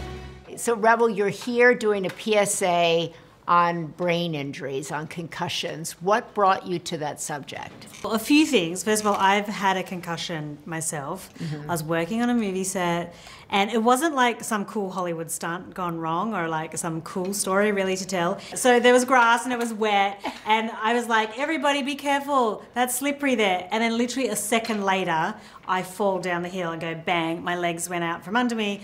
I fell backwards and hit my head and was unconscious for a few seconds. And that was the first time something like that had ever happened to me. But luckily, I was like, okay, I think because it's my brain and I went unconscious, I think I should get it checked out. Um, and I, they took me to the hospital and I did have a concussion. And I have a movie coming out Right. called The Almond and the Seahorse, which deals with um, traumatic brain injuries and how Mm. that not only affects the people who suffer from them, but also their partners and their families. And it's a really like moving, different kind of film to my glossy comedies that I'm known for. You've got a form of amnesia from when you were ill two years ago. He's really struggling. You can't see a broken brain. It was something that it was such an important subject matter, and I hadn't seen a, a movie like deal with it in that those kind of ways. I've seen documentaries uh, about Yeah. some brain injuries, but not ever like you know a drama film. And I just thought it was such a beautiful, moving script. We have a line that says, "You can't see a broken brain," Right. and I think it's it's so poignant because you just um, you look all right. When I had my concussion, I looked all right, and they're like, "Okay, back to work, you go," because I, I looked fine. Let's talk about your film because I saw it and it's beautiful. It's also really sad Yeah. uh, because people don't understand what's actually going on with your husband in the film or people in general who have brain issues. And it's a serious role for you, right? Yeah. And you started in serious drama. I actually like when I first started acting, Maria. I thought I was going to be the next Dame Judi Dench. Right. I, I didn't think of myself as being funny at all. Like no one would have looked at me and gone, "Oh yeah, she's hilarious." Um, so I, I really started as a serious actress and did Shakespeare's and all the kind of classics um, in Australia. It's just like nobody internationally has seen seen that work from me. Right. And then um, God, I was filming a movie a few years ago with Robin Williams, Mhm. and I was doing like a really fun comedy scene, and Robin came over to me and he's like, "You should do drama as well." And I was like, oh, "How did you get that from me doing like comedy?" And he's like, he looked at me, he's like, "No, you should be doing drama." And that conversation like really stayed with me. And then when this beautiful script came along, The Almond and the Seahorse, I was like, "Okay, I think I think I really want to do this." And um, Why did you really want to do it? What was it that when It you because you read something and you just think like, that's it, I've got to make this come to life. I mean, one that I had dated a guy who had a traumatic brain injury, and, and I learned from that. Mhm. Um, and and I felt like this movie kind of honors, uh, in a way, people who've Yeah. had traumatic brain injuries, and I, I really liked that aspect of it. Um, there was another element in that. Um, well, I have an affair with French actress Charlotte Gainsbourg in it. Yeah. And at that point, I'd never kissed a woman before. and so I was like, oh, that could be interesting um, to try that out. And then I just thought, like, the, the message of, the film, like, it's just, it's just so beautiful. When you said that Robin Williams put the seed in your brain that you should do drama, Yeah. he also had struggled with his brain. Did Yeah. that come in at all to this? It just made me think of it when you said It- that because well, like, he, I mean, this was literally like two months before he passed away, the, our conversation. And yeah, I, you wouldn't have known anything was wrong with him. We were chatting, it was 2 a.m., 3 a.m. in the morning, we were doing a Mm. night shoot, and, you know, and just talking really normally, you would, I wouldn't have had any sense um, that anything is wrong. And I guess that's the thing, you Yeah. know, you don't really know what's going on in, inside somebody. In reading about you, I read that you, when you first started in drama, doing drama in Australia, and then people started to laugh, and then you leaned into that. And I thought that's such a pivotal decision to make because so many people, the same thing could happen to them, and they'd give up. Yeah. And they just walk away and said, I'm never going to do that again, right? And you leaned into it. There's a lesson in there for millions of people. What made you lean in instead of give up? what made me not give up Yeah. is because weirdly the year before I'd, I got malaria in South Africa and I was like hallucinating uh, in the hospital and I like hallucinated that I was an actress and that I was really good and won an Academy Award. So for some reason that little vision kept driving me even though like I you know I don't think I was particularly good when I first started acting uh, you know and then I had the experience where everyone laughed at me I also had like an experience where I bombed trying to do stand-up comedy in front of like 2,000 people and everyone was like oh my god my own mother was in the audience and she's like I really don't think performing is for you and I was like oh um, but there was something in me. I don't know whether it was that vision, um, but it just kept driving me to go. Okay, no, I can, you know, keep going. I am going to be really successful. And no one, no one believed it until it's really started to happen. But you believed it. Yeah, I really had this inner confidence that I knew I could make it, even though statistically, like for a girl from where I'm from in Australia, to not Mhm. only make it in Australia, but then to come to Hollywood, it's really rare. Right.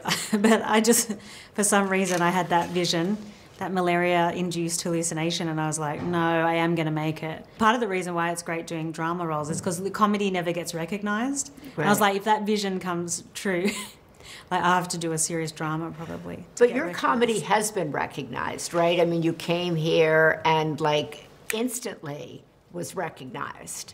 I was very lucky. My first job here in America was Yeah. a movie called Bridesmaids, Right. which was a huge hit.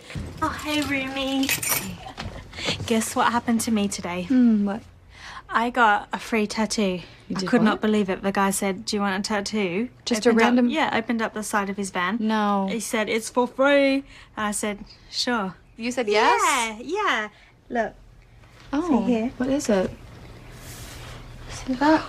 Oh, oh my god. Oh my god. Brynn. It's a Mexican drinking worm. It's like a Native American symbol, meaning wasted. Okay. I had auditioned for the Melissa McCarthy role and didn't get it, but they liked me, I guess, so they, they added me into the film. And that was just like an amazing first job to come here and just be like, you know. Uh, Did you feel then like I've made it? This is it. This is what I. This was my hallucination. It was probably Pitch Perfect that came after Bridesmaids, and Mm-hmm. then literally the day that movie came out, I became internationally famous. Can you match pitch? Try me. Yeah.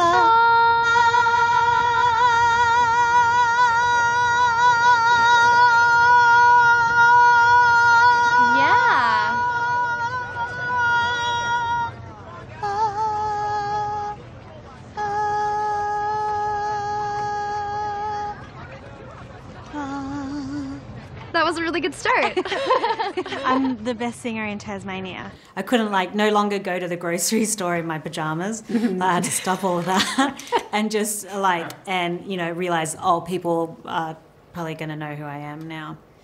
And what did did you feel like? Okay, that's what I dreamt, or did you feel like nope, the hallucination still I is still not? feel like until I win an Academy Award, I won't have achieved it. So that's why I guess you know I'm trying these different roles and you know and still pushing. Like I still think, even though I'm now in my 40s, Mhm. that I'm like still only still now coming into like um, the work that I was supposed to do.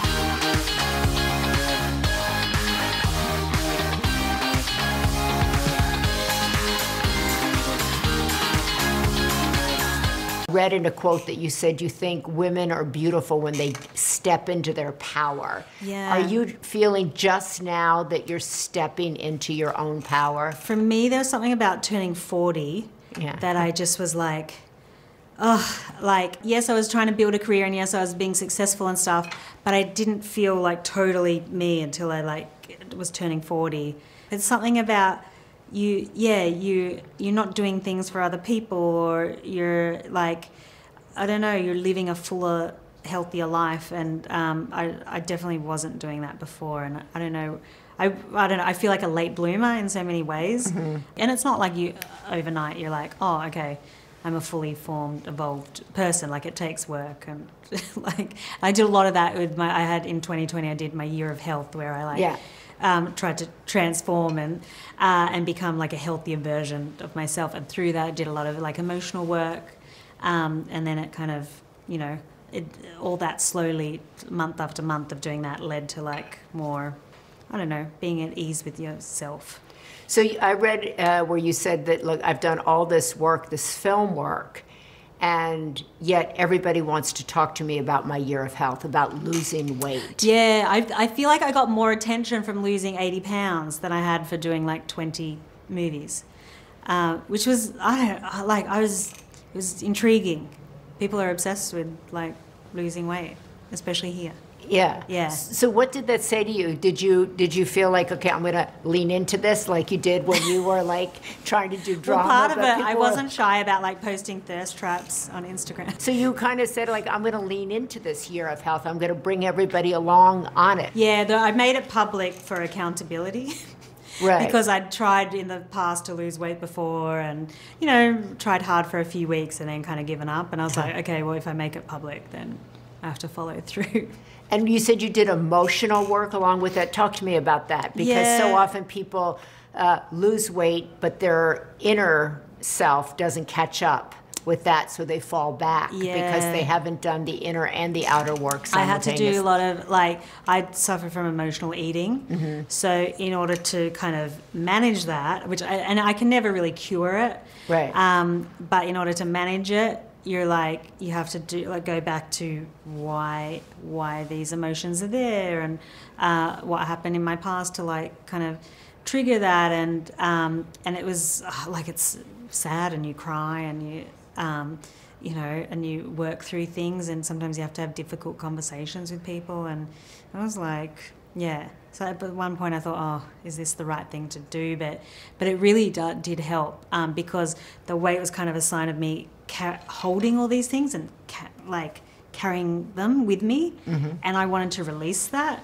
and the only way was to release all the emotions attached to it. I think and I think that work made me a better actress one of, one of my friends who's also a director he's going I think you're a better actress now because you're more emotionally um, vulnerable and raw because I'm not carrying all that stuff around me to protect myself So how did you do that? Did you work with a therapist? Did- yeah, yeah, a guy who um, I think is uh, Dr. Sadeghi, who was famous Oh, for yeah. uh, like Gwyneth Paltrow's. Um, uh, has worked Did you eat the sardines and the rice? Did did he put you on that? I didn't do that, but I, you know, I read that chapter in the book. Yeah. Uh, no, I, I didn't do that, Mhm. but I just talked through like um, every two weeks, had a phone call and like talked through things that were going on in my life and Mhm. and how that your um, uh, mental health can affect your physical health and it was really like I'd never done anything before like that. I guess in Australia you don't really talk about stuff. There's Mhm. a culture of that, um, and in America I think people are much more open about it Mhm. and and so it was like at first it was like so weird to tell a stranger like some of your innermost feelings Yeah. but then you, you kind of get used to it and you slowly like releasing stuff and then it was weird as i was doing that the weight would slowly come off What did you discover about yourself through that? I mean, one of the things was probably um, sexuality. Like, I thought maybe I was 100% straight before I did that. And then I realized, oh, maybe I'm not 100% straight. I don't know what what label I am, but Mhm. like um, that was that was definitely something that came up. Um, but also like it's weird. I'm so shy. I'm like a very introverted person, but then I've chosen a career that's like extremely extroverted, and so all that pressure and stress it comes with a lot of anxieties because it's not my normal state. Like my normal thing is just to like be at home and chilling, um, and so all of that and things to do with fame and stuff like um, were causing me to like eat, and and that was my way of coping coping with things. So how do you do that now? Because now you've like put yourself out there, like you know, I'm. I've lost weight. I have Yeah. a baby. I'm in a new relationship, of same-sex relationship, and it's all out there. And you're an introvert. Yeah, I know, and it's hard. And it's also hard for people because actors are normally in two categories. Some are introverts and extremely shy. Um, and how I think, uh, you know, I became an actress because I would watch other people because I was so shy. I was not engaging in things socially, but I was watching people. Right. And so that's how I learnt things about people and how to, you know, perform different characters from watching. But then there's the other camp that they're so extroverted and, you know, out there and, um, you know, they're the kids that people say, oh, you should move to Hollywood. Like, Right. you're crazy. um, and so I don't, but it's my passion to, to be an actress. And um, I think uh, for some reason, because I was so shy, playing other characters helped me be able to express myself Yeah. because I was like, well, it's not me, it's the character. So I could be in the high school musical and pretend to be somebody I'm not. Um, and but then I could have all this confidence as the character and and so slowly and slowly that confidence merged into me being me. Uh, but it took a while. Even when I started first doing stand up, I would always do it as a character. Like I'd never do it as me. Right. And, yeah.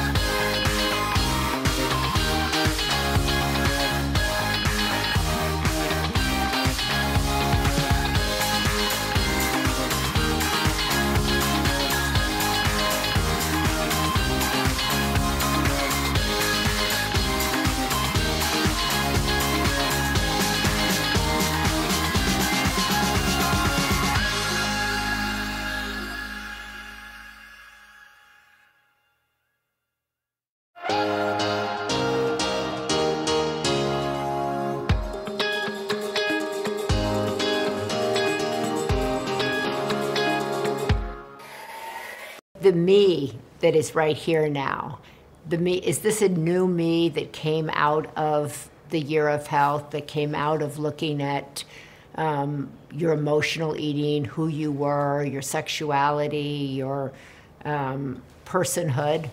I definitely think I've changed, but like, I don't know, I think of myself as a car, like, you know, I'm 42 now. Like, if you had a 42 year old car, you're going to make some changes to it. Like, Yeah. otherwise, it would be all ratty and gross by 42 years old. So, I've definitely, I think, made some upgrades. Uh-huh. You're a new mom. You announced that that you had a baby through surrogacy, and that you also said that you had kind of started on this year of health to try to become a mother yourself.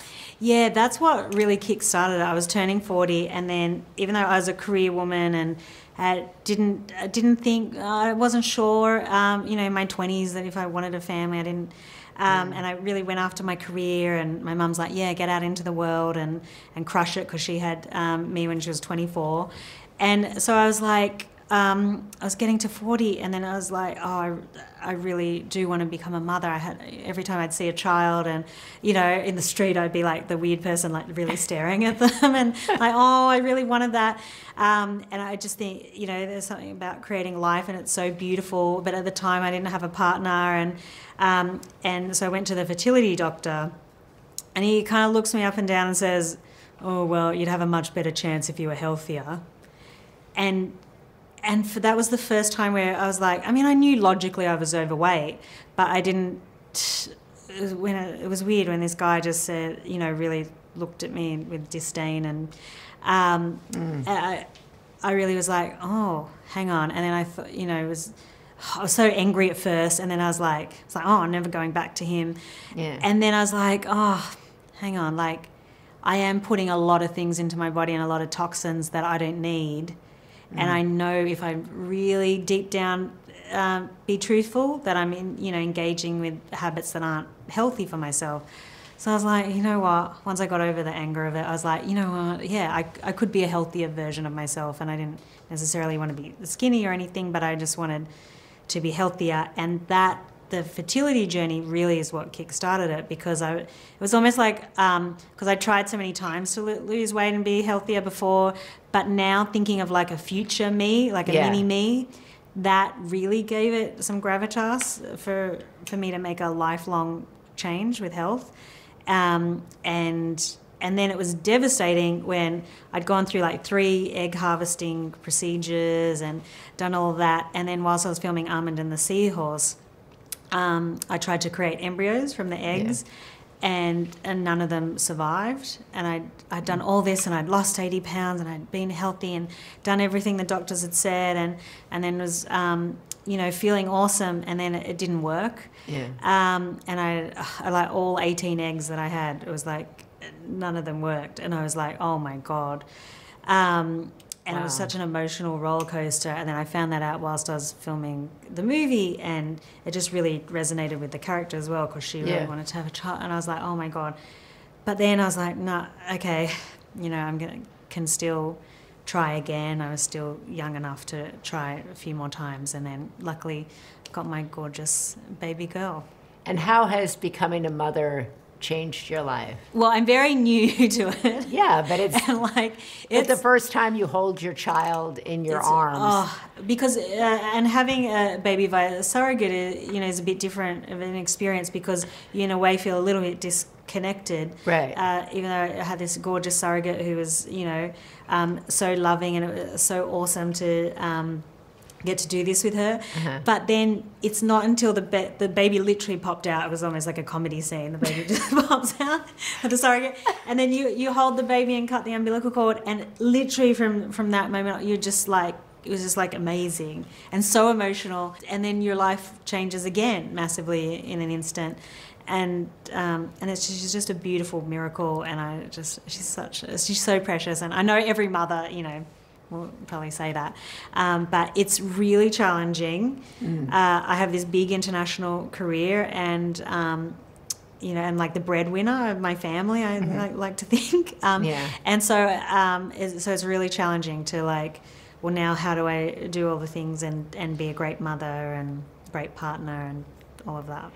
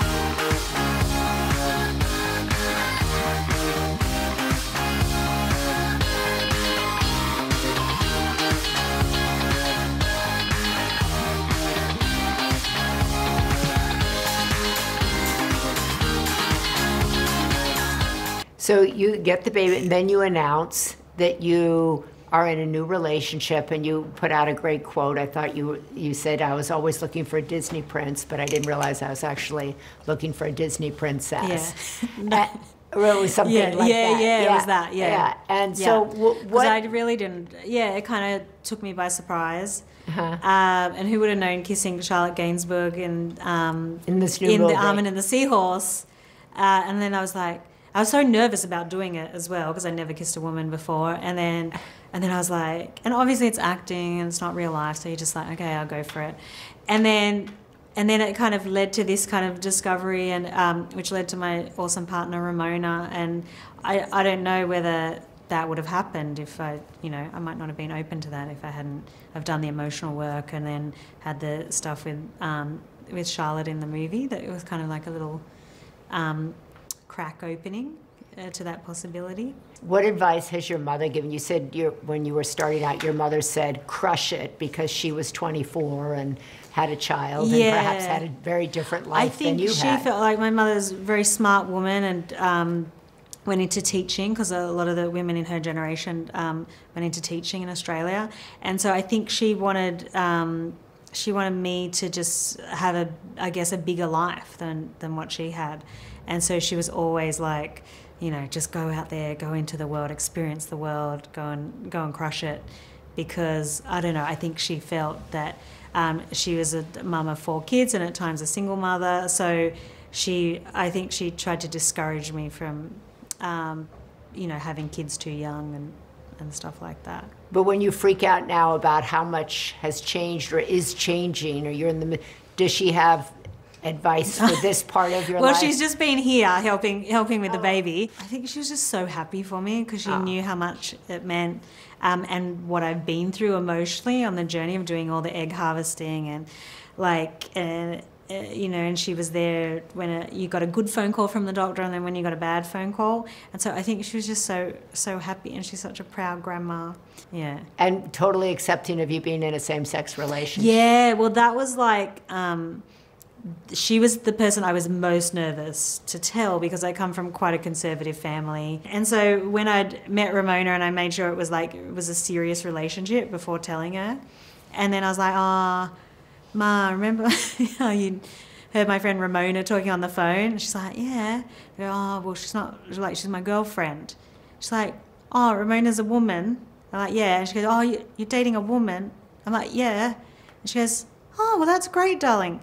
And like, she just um, instantly, like, there wasn't even a split, you know, of like, huh, or shock or, like, she was just like, oh, great.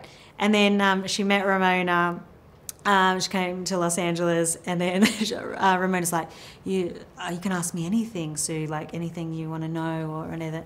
And my mum just leans in and goes, "Is that your real hair color?" I'm like, "Ma, she meant about sexuality and stuff," and it was like, yeah, it was pretty funny. But just like that, accepting. Yeah, which was really felt amazing. Like the fact that my whole family was like that. Even my grandparents who are in their 90s, who again, you know, I didn't know how they'd react.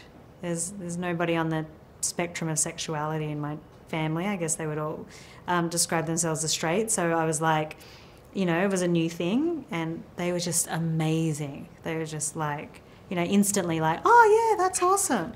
So here we are, 42. We have a child. We have a serious drama coming out. Mm-hmm. We have a new relationship. And we still have this drive to get up onto that stage to win that Oscar for something serious. I'm like that. I'm taking the stepping stones to like, you know, show that versatility now. But that's the hallucination, the vision. Yeah, but weirdly, I think it will come true at some point. For Just sure. Don't know when. Hopefully, it's not when I'm like 80. Hopefully, it's before then.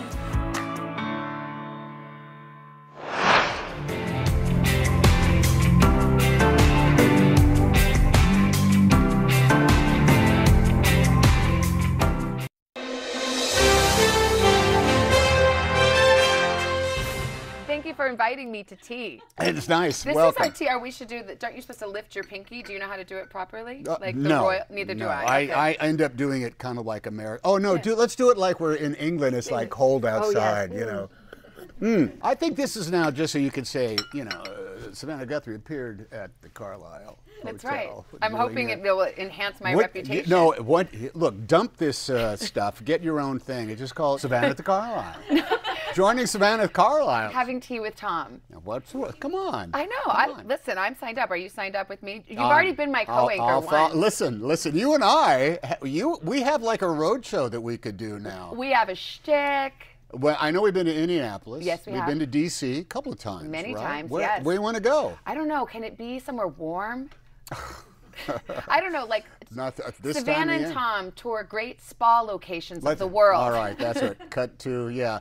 Wow, how about that? Us laying on just you know. Yeah. Do, let's do a shot of us. We're getting massages, and the camera's underneath those holes where you put your Yes, face. it's very and we could just talk to each other. Oh, it'd be very flattering. We could chat.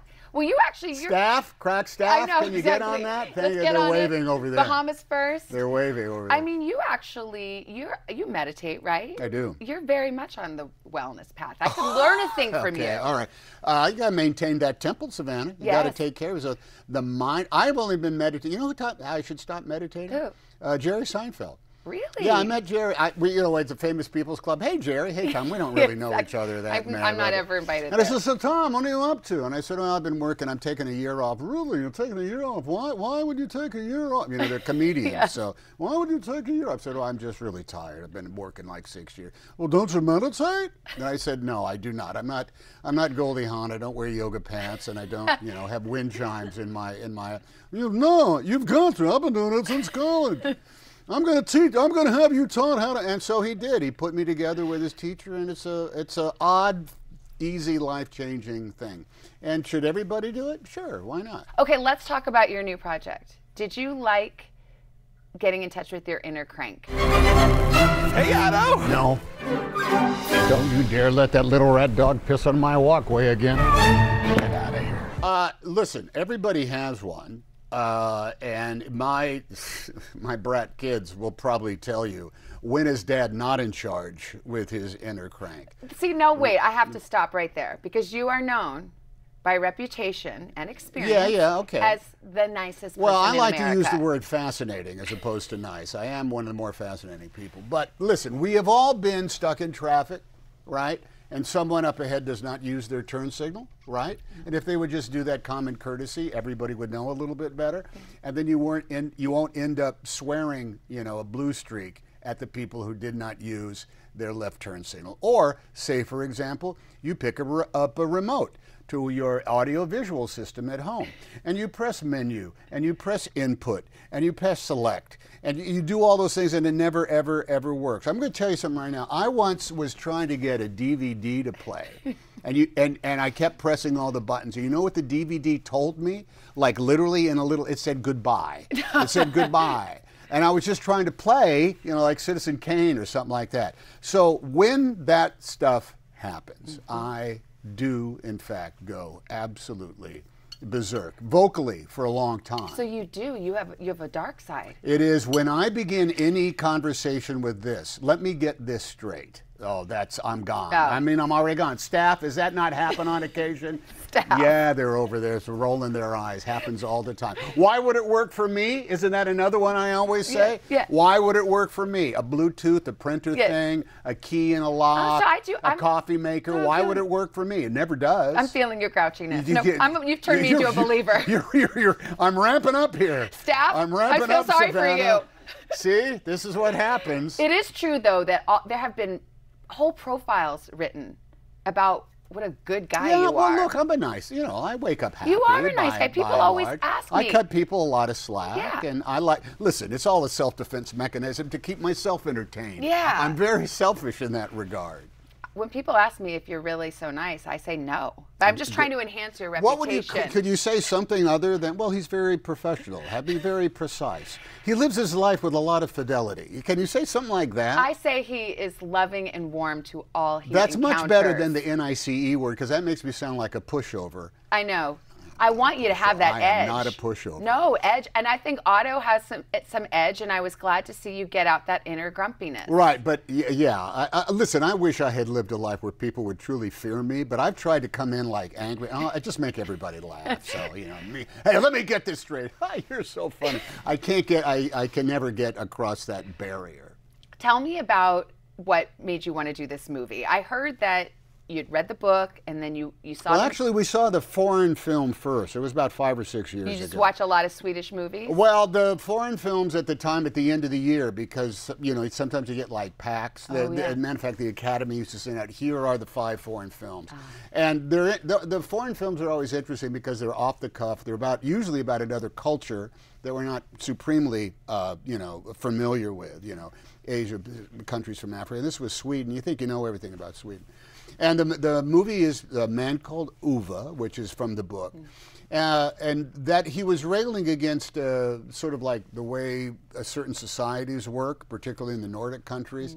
That was all over in spades, and that really translates to the United States in a lot of ways. You can fight the system, you can be angry against the system. But there was a bigger element to it that I thought was this was a guy who has no faith in the future. You know, meaning that ev- the, he can rely on nobody.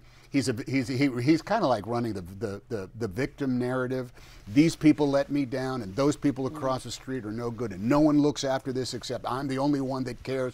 Every time the phone rings, you know, we did that. We did that thing. Remember that one phone uh, uh, robot that was calling up, and a, a lady said, "Hello, hi, can you hear me?" Oh, the robocall. That, that one, Yes. that you know, we put that in because you can't even you can't even pick up your phone innocently anymore without being manipulated by you know our corporate overlords. He disconnects the service after Uh, that scene. Yeah, right after he starts yelling Mm. over the over the thing. So so that's where he is. That that I, I felt that Otto. There was already there's a great performance by a fabulous Swedish actor named Rolf Lassgård who played Ove. I said there has already been an Ove. I will call this guy. We will be Otto. I will I will be Otto. There's so many uh, categories in American life right now of us versus them, plus or minus, on the right side, on the rock side, in favor. And I thought that was what that, that we could really tear tear up uh, uh, an examination of of that sort of theme. Because look, at the end of the day, a movie has to live up to the theme that's examining, mm. yeah, that it is examining. And you know, two hours is a long time to invest in, in this case, a man who has faith in nobody but himself. But it's not. I mean, it is. There are moments where you just cringe because Otto's so grumpy Right. and so mean. He's You're so like, right. why can't you just say thank you He's to that correct. lovely lady across the street? Oh, You yeah, know? I But- get that. Well, we wanted to properly introduce ourselves because you know we're going to be neighbors and everything. So, yeah. so Okay. Okay. Bye.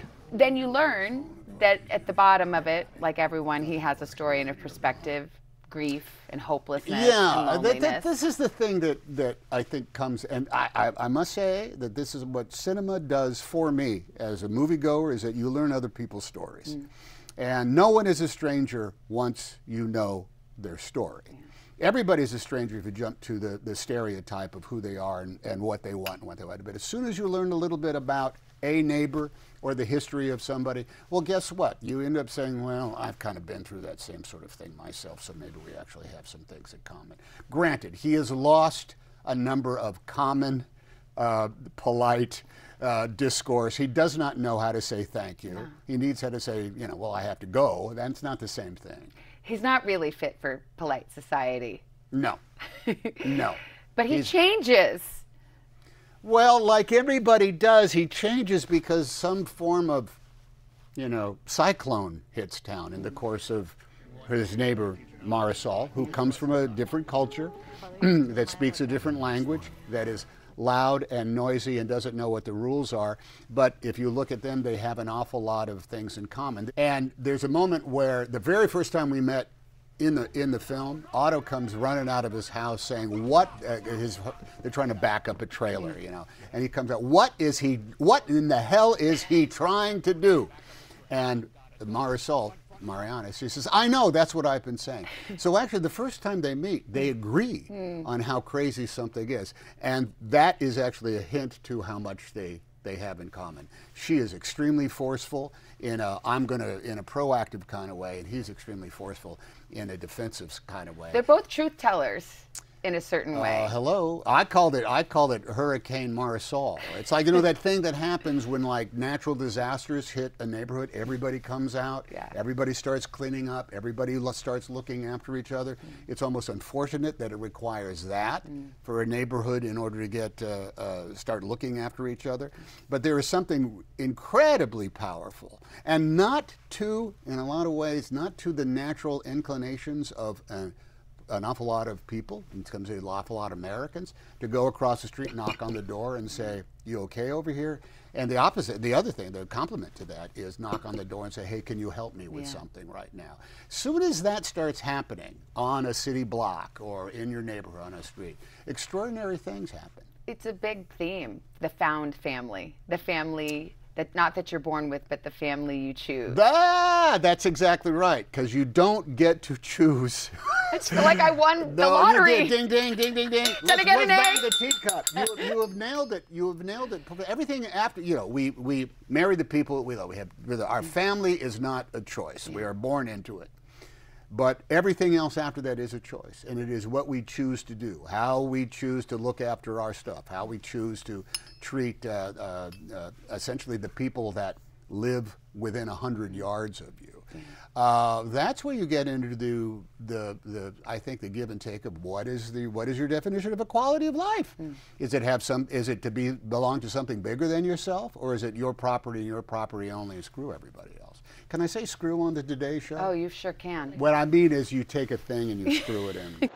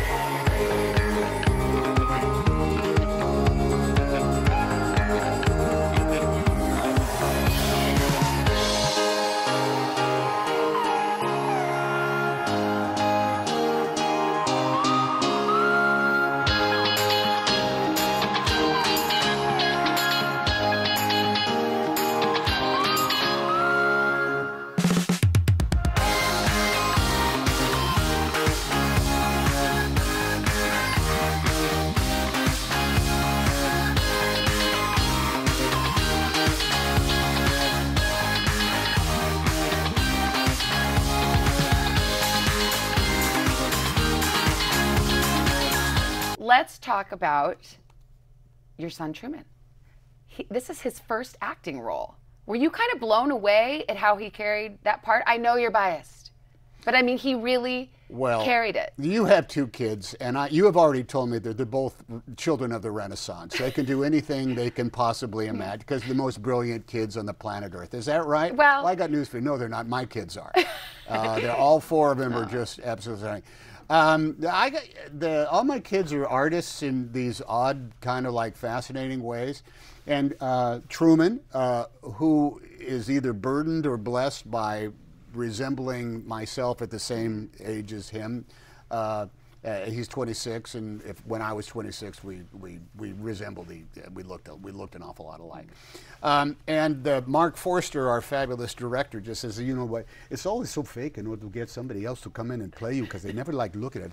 Could maybe Truman do this? And and we said Truman has no desire to be an actor. He does. He is behind the camera. He's actually in the union. He's been camera utility. Wants to be a. It has been a cinematographer, and that's what he wants to do. But they met and they talked, and we said, "Well, I'm going to stand back from this. I'm not going to put any pressure on anybody." And when uh, when our son said, "I don't know, should I, don't know if I want to do this or not. It might be great," we said, "Well, the experience is incredible. Just understand, you know." this is not autographs and sunglasses, man. This is showing up and hitting the mark and finding the truth and combating the the biggest um the biggest barrier, I think, to being an artist, being an actor, is to combat self consciousness. Mm. And that doesn't come naturally, you know, that can come after time. Did you give him any tips? No. Did he ask for no, any? No. I, he, I said, dude, there's only one way to do this, and that's by way of your instinct. Hmm. We compared notes on the character, but he's the younger me, so I was watching him. Probably, I, we just said, I said one thing: lead with your knuckles. That's the only, only, and whatever that means. What does that well, mean? it means when you when when you storm off and you're angry, Yeah. you just turn your knuckles out out to the front. Yeah, I don't know what that meant. That's very practical. you I cut- thought you were going to go deep. I thought that was like a you know a well, metaphor actually, for something. well, it alters your body. Yeah, it alters the way you storm off, Mm. and actually, it is kind of deep. You end up searching for all these things that are just going to turn you into the character. On the days that he shot, would you go and no, watch? no, I didn't watch a thing. There was a couple. There was one day where we were. He was in the shot before I was, and we said, "Hey, how's it? Hey, how's it going? Hey, I got the morning off." That's about all I said. But there, and there was one day when we were on the same set because he was a reflection in a thing, and uh, two things have to go on. One is I have to be occupied only with what I'm doing as old Otto. But then young Otto was there, and on the periphery, here is, you know, here's our son, you know, you know, going about it. You got to treat him as a regular actor, but at the same time, you know, I remember, you know, I remember driving him in carpool when he was seven years old. So Yeah. yeah, that that crosses your mind. And it's his first role. I mean, I know how I feel when my daughter does the five-year-old's Matilda. You know, I'm Okay. sitting there like hoping she's gonna Yeah. hit that line. Yeah. Did you feel nervous for him or Uh, scared? yes, but there's only one way to do it, and that is to wrestle the beast. Yeah. You know, it, I, I saw him. Look, he played uh, Danny Zuko in uh, in Grease uh, in junior high school. I was more nervous for him for that than I was in the movie. Because the good thing about a movie is, hey, if it's no good, it's not going to be in the movie. They they will they will they will cut around you. Maybe I did. I might have said that too. Oh, that's comforting. Well, no, because oh, that- don't worry, they'll just cut your part out. No, no, it's, it's actually said you don't. You are cranky. You don't have to. You don't have to worry because if it stinks, it won't be in the movie. Oh. They'll only use the good parts, you know, if you're lucky. but that's also kind of like a, a sentence as well. But it is, a, hey, let go, just let go, because if it's lousy, the director won't use it. Is, is that a good thing to say to anybody in a movie? I We'll don't know. when I interview him, I'll ask him. Okay. How was your father's advice? I probably. I, I don't know. I, I, I actually, maybe I said this stuff or not. Maybe I was a benevolent presence or not. I have no idea. It's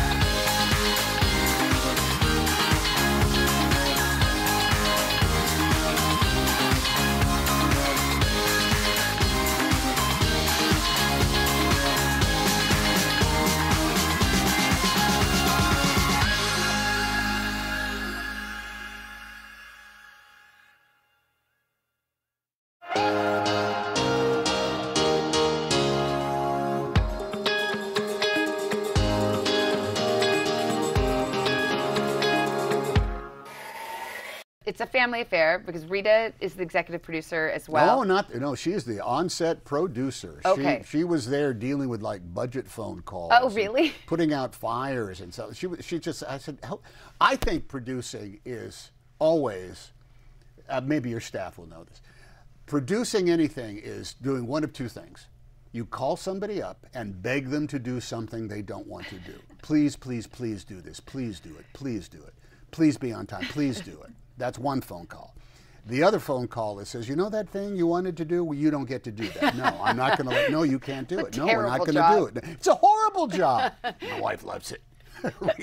Rita, Rita loves it. Between that and and uh, writing and performing the, the song that's over the, uh, the that's actually one of the on the short list for the thing. That's what she lives for. But she was very nervous about. You're going to talk to her. I don't know No, if I don't are. think so. She, Can she you get was- me an interview? She was nervous. I'll see what. Yeah. Oh, yeah. Like I control. I'll take her and I Truman. control that. yeah, yeah. I do that. She, she wasn't sure she wanted to do that because the director makes that final choice, Yeah. and that would that could have been a very uncomfortable thing if he didn't like the song.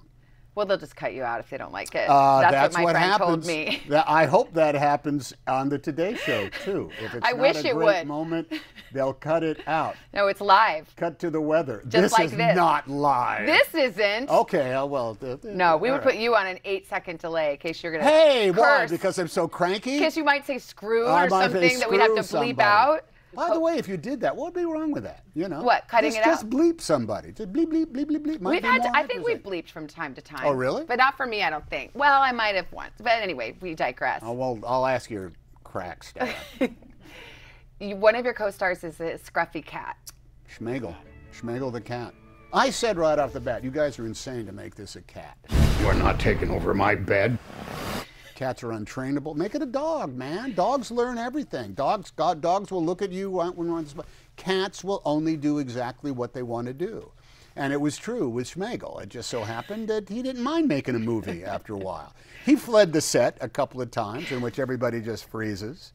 And the animal, you know, animal folks say, you know, they coast it back. He just, and, but other times he was just, he laid right where he wanted to lay and looked at me the way he wanted to look at me. And he's a cat. Diva, you know, I think you've answered my question, which I was afraid would divide America. Tom Hanks, cat person or dog person? Oh, I like him. Well, uh, we I we had a dog. The only reason we now don't you're stammering. I know it's a very difficult question. But oh, screw this. Um, Bird. My it just so happens I'm married to somebody who is allergic to cats. Okay. So that takes the cat out of my responsibility. Okay. And we do have had plenty of dogs. I happen to enjoy them both, and we would probably lived in enough places we could have kept them separated. But with with uh, with a lady allergic to cats, uh, that's that. Well, I happen there were Saved by the bell. Schmegel, and you can see Schmegel Bagel. Uh, there are plenty of times where I got to this place where you know an arm up underneath, and is you know he's hanging there like that. Yeah. He seemed to be very very comfortable in my hands. Yeah, my and, arms, and you comfortable with. Schmegel as well. Oh, I love Schmegel. Yeah, yeah. okay. Good kitty cat.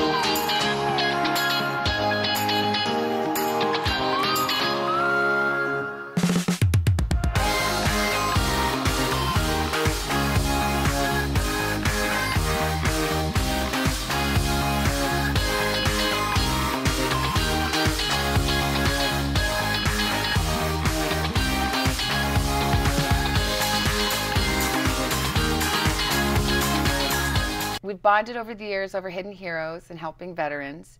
I hear that you have a coffee Yes. for veterans. Yes. Hanx. Is Right. Hanx Coffee? H A N X. H A. N X. Is it It is. a shot of You have. a uh, shot of caffeine, or is it smooth and kind, I find like the that real there's Tom nothing. Uh, taking uh, my cue from corporate America, I find that there's nothing wrong with trying to be- get people just to try just once a legal addictive stimulant Yes. uh, that tastes good and that they might want to do it again. It is. Uh, I've worked with some really great, fabulous coffee roasters and suppliers uh, down in Little Rock, Arkansas. And it is a coffee. Uh, it, eventually, it will be. Uh, uh, right now, it's direct to consumers, but every single penny goes to support various veterans organizations. I like that. Why? Why the coffee business? It feels I- like every other celebrity's in some kind of alcohol business. Well, okay. Uh, I don't want to be responsible for that. I, I would like to be responsible for people waking up and enjoying some good conversation with a cup of good fresh Joe. Various flavors. So, you know, if you want to get uh, uh, exotic, you can, but then if you just want a good solid blast of Morning Joe, I happen to like a little uh, malt in, in my coffee. Uh, uh, and uh, the the desire is just look you got you're going to buy coffee right? Well you know sample ours. It's because I'm going to tell you right now this is what I've always wanted mm, hey that's good coffee. Uh, that's what it'll do for you. He never has a second cup at home. oh I, I'm going to tell you right I'm going to tell you right now Savannah Guthrie. If a doctor said to me Tom you have to give up coffee otherwise you're, you you it's going to cost you your life I would say bye bye because I am not living without a good cup of coffee. Hundred percent. I have a friend at work who quit caffeine, and I said, "Why? Why would you take away one of life's simple pleasures?" Wha- it- hello, that's like saying you will, you shall never have spaghetti again. I'm, look, I'm not going to live on spaghetti, No. okay, but I'm going to have it on occasion. How do I find that Oh, coffee? you just go to hanxforourtroops.something, right? You're terrible at this. I, listen, I'm not a corporate sponsor. I'm just a guy that invented it. It's a to- totally different thing. They, they uh, invented, yes, Yeah. I invented this coffee. invented. You invented coffee. You see, you see. Not only is he nice, he invented I- coffee. I invented. I what can't you do? I invented the idea of getting up in the morning and having a cup of Oh coffee. Oh my God! On this shift, I need it. Copyright. And Are also you the guy that bought the espresso machine for the White House press yeah, corps? I, have been doing that for a few oh, it's years. so nice. It go, goes back to my days. Is it still there? We should It find. well, I haven't it still been there work? in a while. It did, but that was I left in 2011. I think I think we've done it like three times Yeah, down there so nice. the way it visited back. The well, now you should time. send Hanx coffee. Uh, hello. Okay, just saying. It's all done. Hanx for our troops. Thanks for our card troops. Yes. I get it. Like Hanx like thanks. Yeah, exactly. Okay, sorry. right. I'm a little slow, but I got it now. Okay. Whew. Well, you've been up since five, four, four, four. thirty in the morning. Four, four, four. When when do you first see your children? Um, in the afternoon when I pick them up from school. Oh my. I'm not going to wake them up at that hour. My husband would kill me. Are you not sleeping in the car waiting for him to come Yeah, but then out? I try to, I have a whole routine now and I try to like go home and take a power nap. And then I have another cup of coffee. Yeah. Thank you for doing this. Always, always a pleasure to see you. Honey, that is great coffee.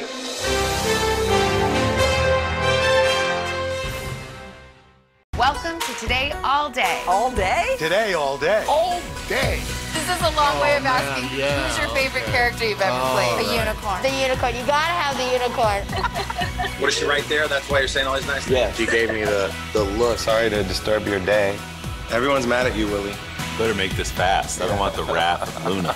When I see you, I always think, I wonder what his quote would be. Give us six minutes and we'll ask as many questions as we can. Welcome to Cold Cuts. Cold Cut. Cold Cut. My buddy Cal cooking with me. Dads don't babysit. It's called parenting. What was the first book you remember loving? Heart Smart today with simple exercises to strengthen your heart. Make the most of your beach days. It's all about the tracksuit now. How good do they look? I now pronounce you husband and wife. Kiss the bride.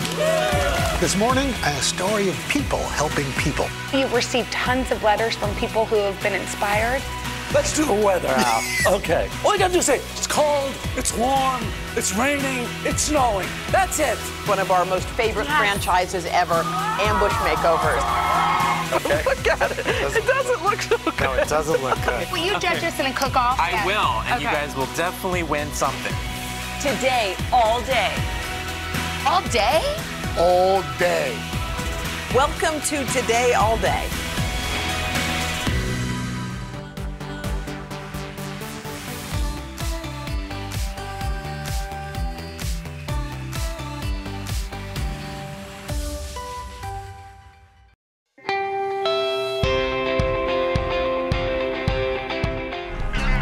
I won't let her throw her life away. We need to trick her into dumping him. As much as this will pain us both, we have to call a truce to make this work. You have to be in lockstep. Hey! Did you make a pact to not murder each other until you murder me first? We are here for you, my love. Yes, we're in lockstep. Yeah. Ticket to Paradise is Julia and George's first romantic comedy together and their sixth collaboration. You clean up pretty good. It's a friendship that has spanned two decades. So, you guys, when you say you're friends, it's more than friends, really. I mean, you have a lot of friends in Hollywood, mm. I'm sure, but this is this sounds like it's definitely next level. Well, we've been friends a long time. Yeah. I mean, Long time. She comes over to the house in Italy with the kids and stuff, and we've had, I mean, you know, we've been together, we've worked together a lot. Yeah. I got to produce a film that she was nominated for an Oscar for, and oh, I was in the first movie he directed. How, how is that being directed by George Clooney? yeah, come on, how is that? You know, it's interesting because, no, I'm going to say this. I remember something so clearly because it's like, there's, I think it's the my opening scene, and I'm sitting in a, a booth at a restaurant, and I have this big hat on, Mhm. and red lipstick. He was very specific. I Mhm. loved how specific he was and clear. I mean, that's what an actor wants more than anything. Mhm. Is just like a clear understanding Mhm. with the director of what they want and what is expected. And and he just would see me as just an actor when Mm. we were at work and talk to me as an actor and have these expectations and it wasn't it wasn't that same like just casual right. Oh hey jules so why don't you do this? It was like okay i want this to be just like this. You know? Wow. and it was really it was really special. And i also that it was his first movie and that i got to be a little part of it i felt It was fun. it, yeah it Mhm. really It was, we had a really good time. we did have a good time Um, this whole movie, obviously, is a movie about parents who are upset that their daughter is marrying someone who they don't think is right for her. Um, and Before they even meet him, Before they even meet him. say. Yeah, everything was too fast, too far away. Like I was, I was feeling the parents in the beginning. When you saw the script, were you like, "We, this is us"? We both said, well, if, if you do it, I'll do it. Because Mhm. it's sort of the, oh, it is really the only way you could see it working. but it was i mean it's a miracle that it all came together Okay, best part about working with Julia Roberts on this movie? Go. The money. um, well, I will, I will be honest, which I don't Yeah. like doing. Uh, he doesn't and i don't like when you are honest You don't like it because I'm I'm nice sometimes, and that's a terrible. Throws me. Uh, she's a great friend, and she Oh. is, you know, on top of all of the things that we all know she is, and everyone knows she is. She also is a very, very good friend, and so it's really fun to work with people that uh, that are truly good friends. And uh, Julia, best part of working with uh, with George on this movie? Now I've cornered you. Now I know you have cornered me. I'm going to say this because George and I, um, we have. I don't like to say that we're very much alike, but we do have the same like beard.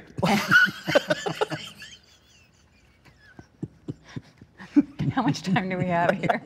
We're going to get like three and a half questions out. Um, we have the same energetic spirit. Yes.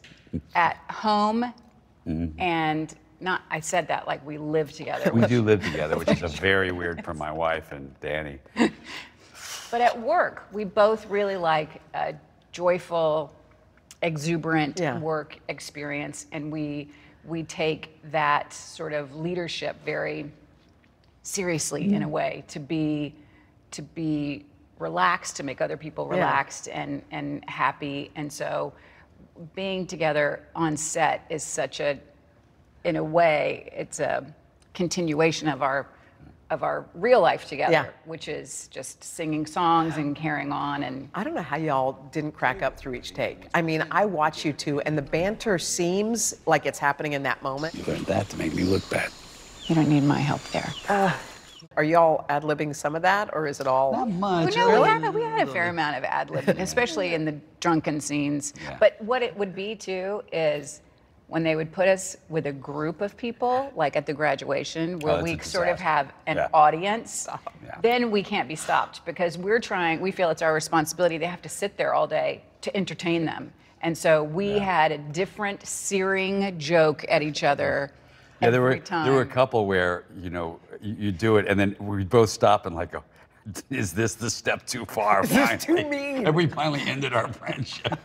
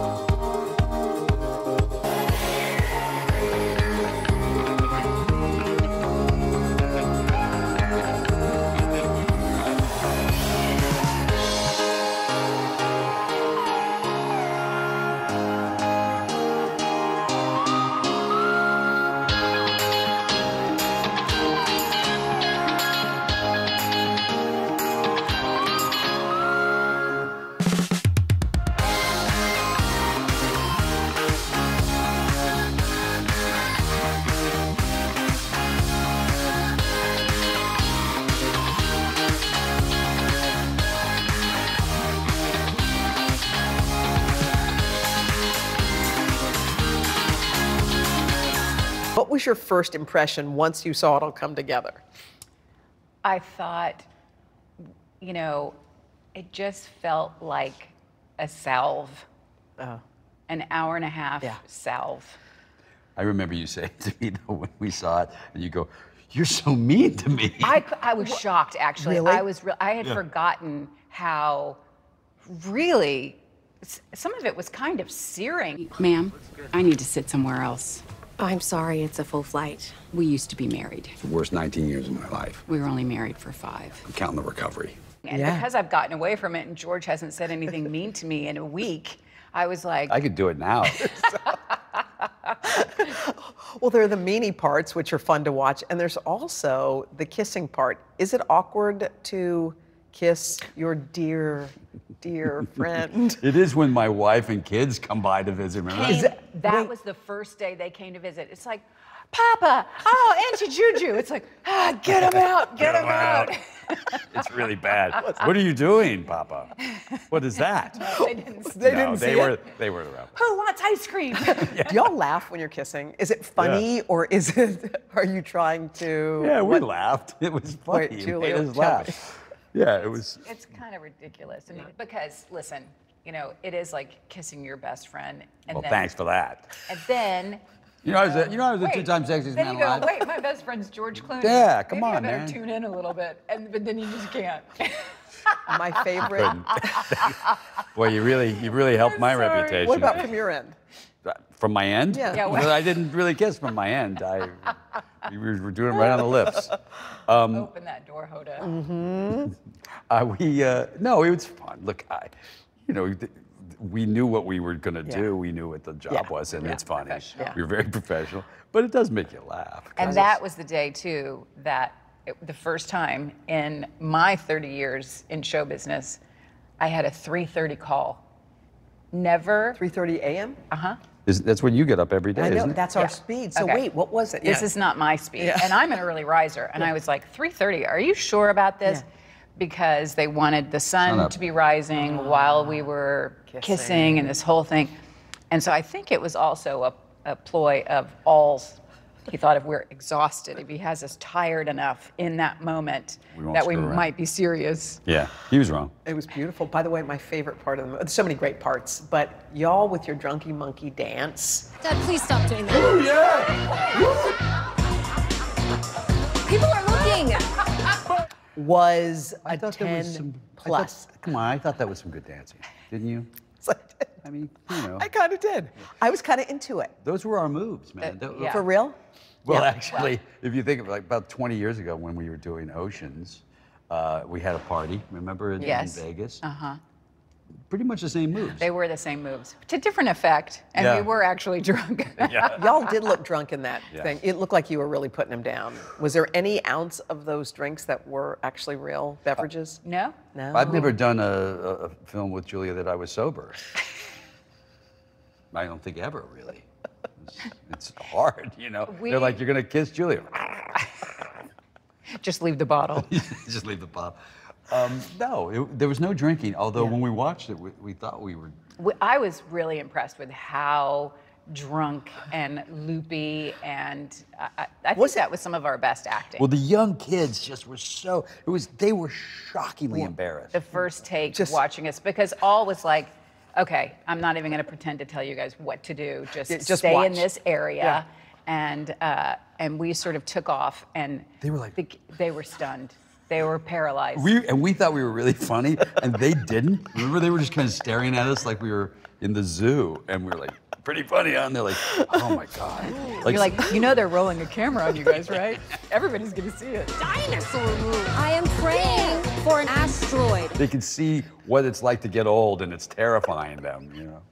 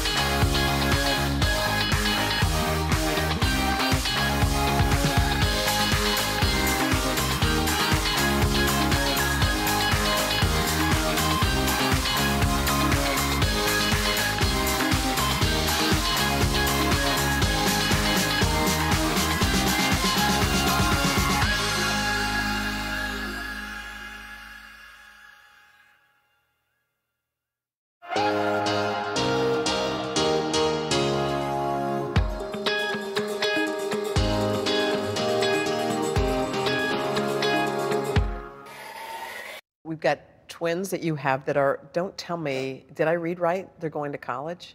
Well, they are seniors in high school. They So- will be 18 in November. Oh my word! How are you feeling about that? Your kids going off to college. You know, I'm- I have feelings about it. Yeah. And but you know, the nice thing is, is that the five of us in my family, I think we all have very similar feelings about it right now. Mm. So it's not like, you know, it's They just can't me. wait to get away. Yeah, it's not like just me going, oh my gosh, you Right, guys are going yeah. off to school. I think everybody kind of feels like, wow, these we can recognize these moments together as, the, as these really big page turners, you know, Mhm. and so it's nice that we're having that that experience together. And speaking of twins, your your twins are five, right? Five, yeah. Did I read that they are now speaking um, Italian, Italian? What do French. how? Italian and French? Yeah. What are you doing? Teaching them all This is kinds. Stupid. I mean, honestly, they're just, I've done dumb things in my life. We all know that. This is the dumbest. But it's so it's it is astonishing. First of all, they're such lovely kids. Yeah. They're just so sweet, lovely kids. And my kids l- you Adore know, them. Adore them. Yeah. Because they're just these little sweet balls of hilariousness, especially Alexander. And but if if if I speak Italian and George speaks English and you're one of George's kids, they will speak in Italian and then speak in English and then speak in Italian and then speak in English and go back and forth. And it's like, wait. Do you speak all those languages? No. it's a disaster. Every time they and, and they talk to each other in Italian when I'm talking to them, like, what do you what? What'd you say? So you know it's a conspiracy. And it's a twin thing anyway. Like aside from this, the language thing, oh, it's a twin thing. This has been a disaster. What's happened to me? Do you know you are sitting next to a man Hmm. who has never been in, in an argument with his wife? Well, I've Is been that- in wait. an argument with you though, so Yeah. it works out. his work wife. But is do you find that like shocking? No, You don't? I don't. How, You tell guys me. don't fight. Because I don't fight with You my don't fight either. with your husband either. They don't fight. How do you resolve conflicts? Like how do we you? just don't fight. It's just not how we communicate with each other. It's not. Yeah. It's never been your language. called for. It has never been our language. But you just have ways of resolving conflicts in your house through just regular conversation and stuff.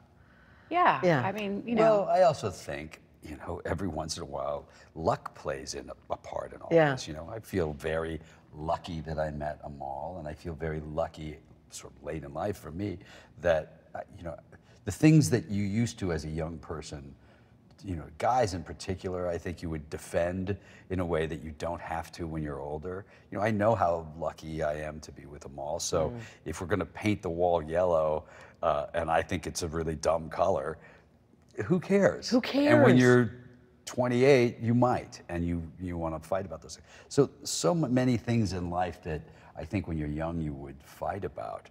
You know, when you get old, like Julia, um, you don't fight so much. I think having kids, I mean, I have obviously kids later in life too. I've got a five and a three year old.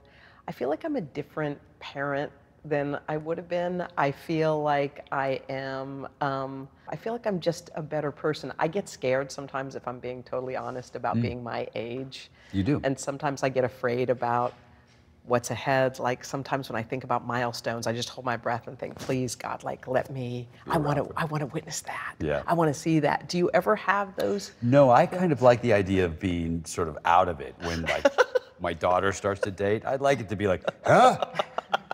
She that well? Huh? I think I'm be comfortable with that. I really do. Papa, I want you to meet. He's a drummer in a band. I like toast. Uh, I'm okay with it. no, I think, but here's the thing the Tell me. truth is, because we all, no matter how old we are, George Mm-hmm. being the oldest of us, um, it doesn't, you know, they have chosen us in this Oh. moment to be their stewards and their shepherds in this life experience. And, you know, it all happens when we're ready. I met Danny when I was ready. You met them all when you were ready. Mm. It's like, and then we call these children into our lives when we're ready to best partner with them. And so I don't, I mean, sometimes I get gripped with fear Mhm. of blowing it. And sometimes I've just said to my kids, like, so today, me as a mom, can we just Can we just take that off the board Erase it. because I I blew it. Remember Bono would talk about his kids, and he said, you know, he had a conversation with once where he said, you know, they're like 15, and Yeah. he said, now we're about to get to the age where you're just gonna, for no reason at all, hate me. You're gonna hate me for like five years. Yeah. I'm just gonna, be, you're just gonna be against me. And he goes, and then you're gonna come back and you're gonna think I'm kind of cool, and we're gonna get Mm-hmm. along really well, and we're gonna have a great life. He goes, can we just skip those? the middle years?" part. I like that idea. I do too. I think there are so many parts. I mean, I don't want to dwell on parenting, but I'm just kind of in the middle of it. And since I'm sitting with both you guys, I feel like there are certain, I have certain things I try to teach my kids. And one of them is when they don't know something or they feel stupid, instead of saying, either ignoring it or, or saying, being embarrassed about it, I, we have something that we say, and it is, I guess I haven't learned that yet. Ah. And That's nice. Yeah, I just, it's like a small thing, but little bits and pieces. Are there things that you've tried to teach your kids that you hope that they will carry with them as they like head off to, into the world, into college? Well, I mean, uh, my kids are a little older, and I feel like the one thing that we've always tried to instill in them is to just remember who you are when you're out in the world. Remember that you, as one person, are representing five people, and mm-hmm. just to conduct yourself in that mm-hmm. same way that you would when we're all together mm-hmm. when you're by yourself out in the world. So, and I think that's not only does it make you feel like you're not so all alone out in the world, it does kind of remind you to just be that much more thoughtful or that much more helpful if you can be. Beautiful. George, about for you? I guess I haven't learned that. I knew you were going to say it. I was waiting for it. Oh, I love that you did it. Okay. You're gonna tee it up for me. I'm gonna take it. I just knew it. God, I love this friendship so much. Okay, so we looked up your zodiac signs. You're a Taurus, you're a Scorpio. Okay, so here's what it says. The really weak signs. They are opposite signs in the zodiac, giving them a special complex connection. They can combine to make a whole, each partner's strength balancing the other's quiet, weaknesses. quiet, quiet. Taurus and you spell Scor- whole? Taurus and Scorpio have tons in common, but because their personalities are both so powerful, Uh-huh. they often swing between passionate love and passionate disagreement. Mm. Do you think is there any truth to that? There was till the end. I don't. We don't. We don't dis- we don't disagree. We the only things we disagree on is one for the road. no, one time I got up, I had to leave dinner. Okay. what are you gonna tell? I don't know No, what one time I had to leave dinner because I had to work the next Yeah. day, and we're all sitting there at dinner, and we are having a beautiful dinner and drinks and having this great time. And I said, "I'm so sorry, I really have to leave." And I get up in this nice restaurant, and I start walking out, and George goes. Quitter! Julia Roberts is a quitter. Yeah, you gotta throw her under the bus every once in a while. yeah. You know, somebody has to throw her under the bus. Everybody's, oh, Julia. No, So no. that would That's be- what you do. Those are our disagreements. I love that. Do y'all think you'll be working again uh, together in a movie? It's not gonna happen. I've learned my lesson. You know, it took five or six times, but I've learned. You know, no, no, no. Y'all are Meanwhile, he's put me in his contract. He can't live without me on screen. Of uh, course not. yeah, why not? She's also the best available. You know, really. available. I love you guys so much. good to Thank see you. you. It's Go so take fun a nap to now. I know it's fun to watch. we wear you out.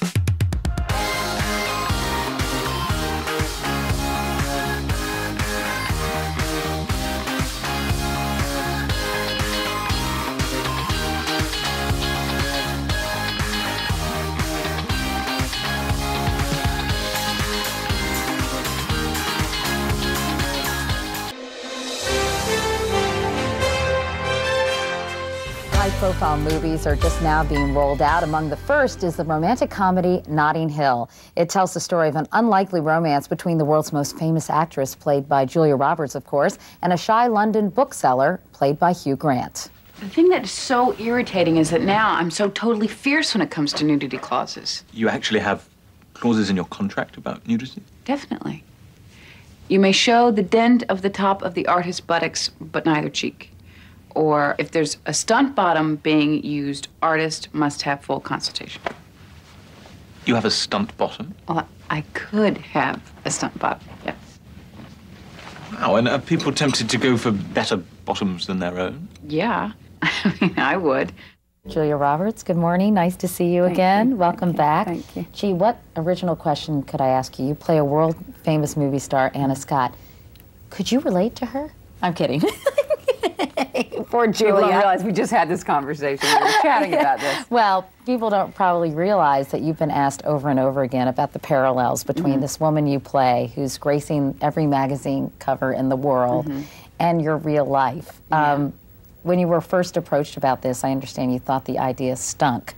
And then as you read the script, you thought, I could really do this. What was it about the script that make, made you think you could take the plunge? Well, because I felt that the story was so beautifully constructed, and I felt that really the idea of her being a um, famous actor was just a great contrivance to show real extremes of people's lives and, and how to make things that are so drastically different work. Because I think these two characters are different on so many levels, culturally and just sort of their upbringing and all that, separate and apart from their jobs. They really are. I mean, she's Yeah. like the princess of popular culture.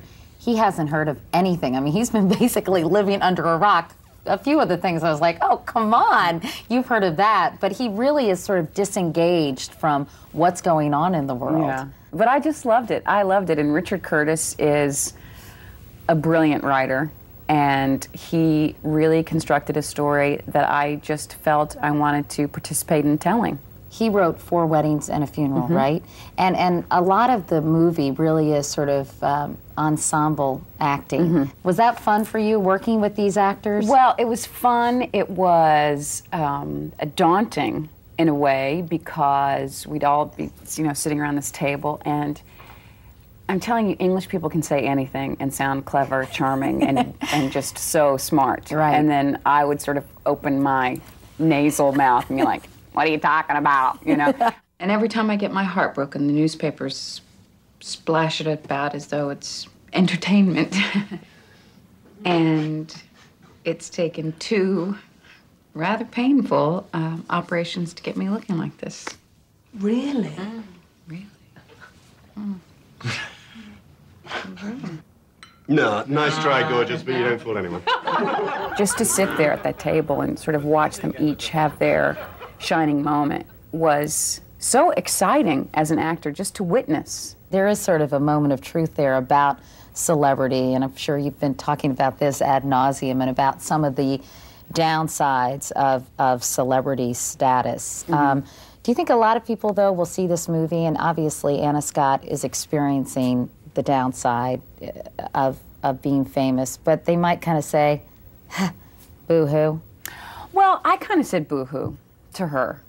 Um, but at a certain point, you have to realize that she's doing the best that she can. And if the best that she can do is to be a little whiny or to not take the highest road with a situation, that's okay. I mean, it's not my place. It's not.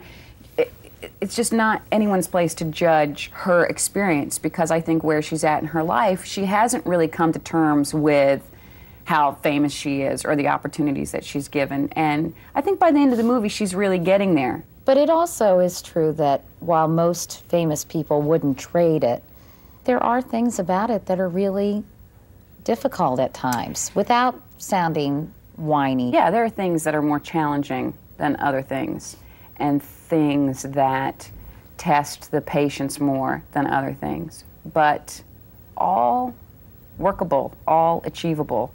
All, you know, I had someone say to me the other night at the premiere, I'm dressed to the teeth. I'm there with my man. I, my hair looks fabulous. And she said, could you tell us about the downside of fame? I said, baby, look at me. You see a downside? like, what are you talking about? And it really is all about the way you choose to view it. You're doing another movie with Richard Gere. I'm sure that every person in America has asked you this as well, but it's called Runaway Bride. It is not Pretty Woman 2, but it really is just teaming up the two of you again and Garry Marshall as Mhm. well. Are you happy with it? Well, I haven't seen it, um, but we sure had a lot of fun making it. Was it like the old days or? Well, no, because the difference between being 20 and being 30 is vast. I'm like a different person now. And so it was really interesting on a Freudian level where I've become very kind of the pop psychologist, you know. So on that level, I was fascinated at every turn. And it was nice because we had um, some of the same cast that we had in Pretty Woman came in and did things for us. Hector right, the Elizondo. Guy, the guy from the Ginkgo biloba commercials now. I love him. Oh, Hector. Yeah, Yeah, he- yeah. yeah. He's always talking about Ginkgo biloba now. He's But also anyway, on Chicago Hope. I know. He, I know. More important. We digress. the movie is called Notting Hill. Julia Roberts, it's really fun talking to you. And we'll be back in a moment. Julia and I are going shopping, though.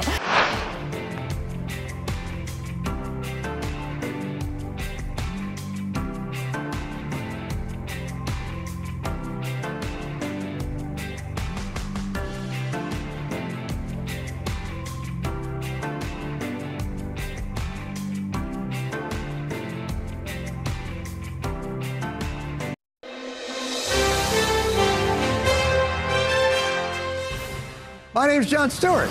I've been away from television for some time. This is what I look like now.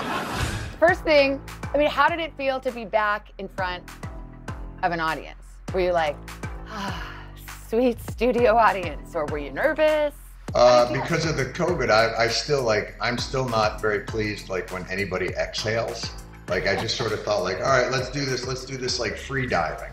We're gonna go into the studio. We're gonna hold our breath for as long as we can hold it, and then we're out of there. But uh, so I'm still not as comfortable. I have performed since then. You know, uh, uh, Dave Chappelle put together this kind of great stand-up series and music series, all this stuff in a cornfield in Ohio. So I've done a little bit of that. So I, I was around some audience. Although it's funny, uh, when we did it in the field, everybody had to be masked because this was still early on. So there was no vax, so there was no nothing.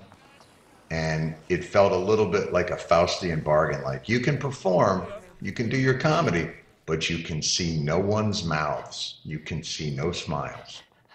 So That's hard as a performer, isn't it? you look for the crinkle in the eye. You come back off stage, you go like, "Oh my God, did you see the crinkle? I was killing out there."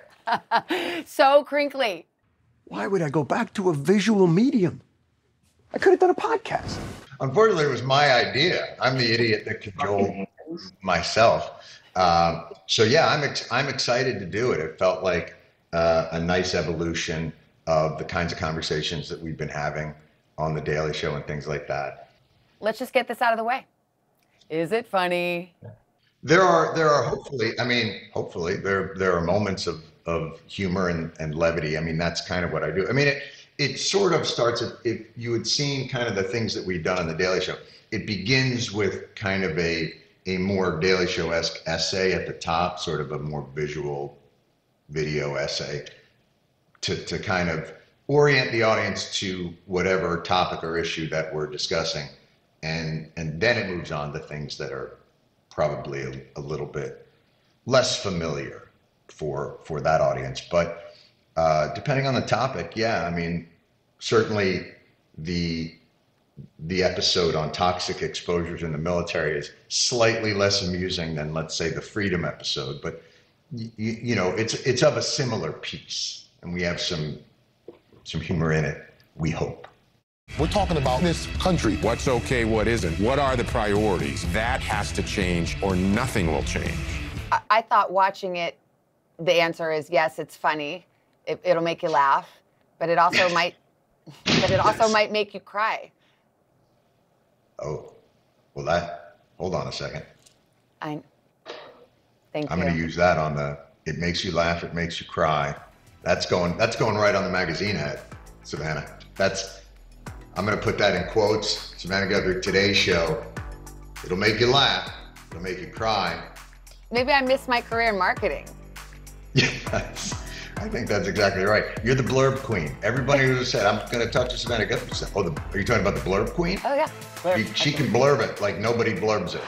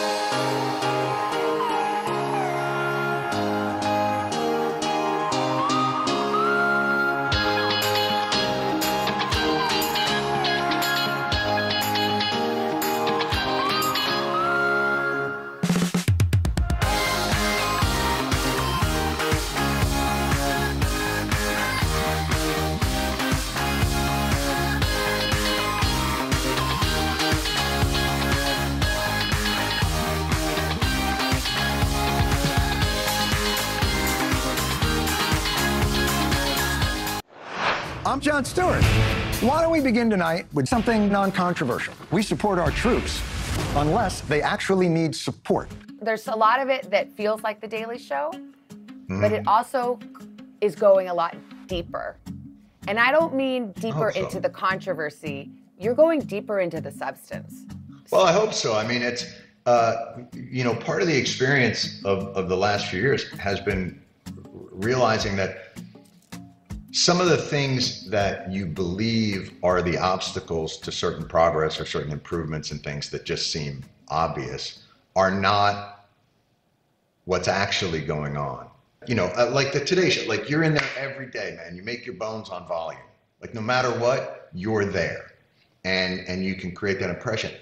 And it felt to me uh, maybe a chance to step back for a second and maybe look at the system. I I don't think I'm going to miss being on television every day. I'm going to miss coming here every day. Was there any part of you that decided to come back to TV because of anything that's happened in the last five years where you felt like, I am dying to get this off my chest? I wish I had a show right now because if I did, I would hmm. say this.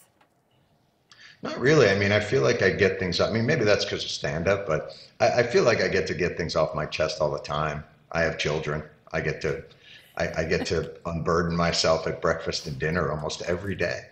Uh, uh, one of the audience members said, "You know, these past five years, you've missed so much. The entirety of the Trump administration and the pandemic." And I, and I had to say that, you know, I, just so you know, like I am still alive in the world.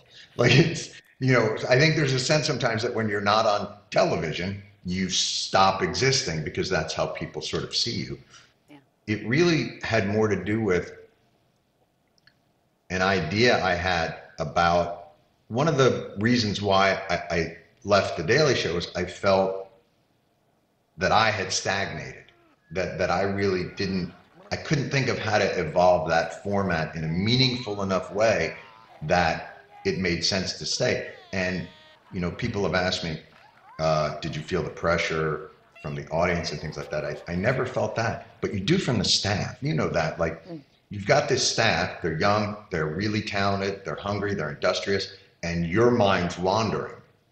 I love the people here. They're the best. They're creative and, and collaborative and kind, and, and that's alliterative, but it's cheating because it's a K. But you, you, you, you, you understand what I'm saying. They're, I love them and respect them so much. Uh, And so that's not fair to them. Yeah. Uh, and this idea that I had w- was the first time I felt like, oh, that that feels like an evolution to me that makes sense. that's organic and that I'm I feel invested in. And so that's I think that was more the motivation of it. And also the, the children and and Tracey have had enough of me. I think that was a lot of it as well. They just thought like, you know, office in New York, get up there maybe three, five times a week. Not a bad thing.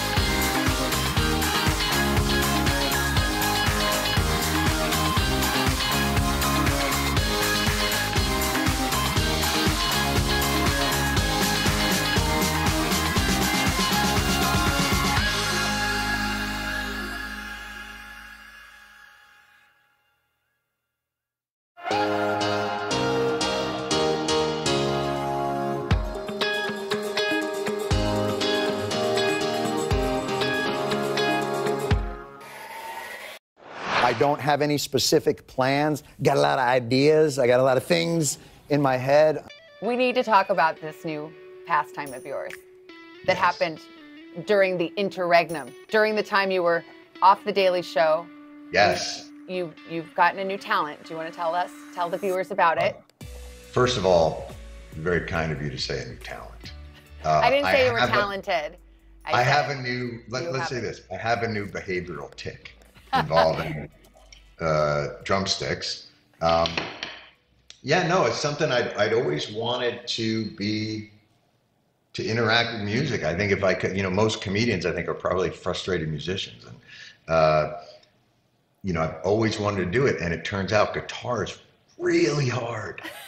and I, so I, I picked up a guitar and I tried that. And I thought, oh, that's going to be like five to seven years before I can just play Blackbird poorly. And but I do know how to hit things and bang on them. Done that. And so I started not not realizing obviously the intricacies and and how complex and and difficult really playing drums is. But it does allow you to put on headphones and put on some of your favorite music and kind of, you know, bang away at it. And I've just, man, I've loved it. I wish I wish I had more time for it. I wish I was better at it. Okay, how do how does the family feel about your drum playing? Well, if you can imagine, imagine you're living with an older gentleman who won't stop doing this.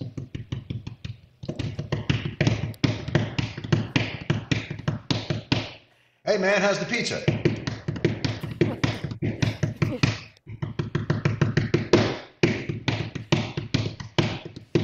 You have the So, drummer's I- overbite. Oh, the drum, drummer's overbite. Sometimes you shut the eyes. Uh, but you can imagine. So I'm generally annoying because I like to talk a lot. So at meals, that's annoying. And then when you add tapping, that just that that elevates it to an entirely new scale of oh my god when do i get to go to college well, Well, let's go back to the show. You know, you do something in the show that you didn't ever do at the Daily Show, which is you went out in the field and actually conducted an interview Yes. one on one. Yes. It wasn't humorous.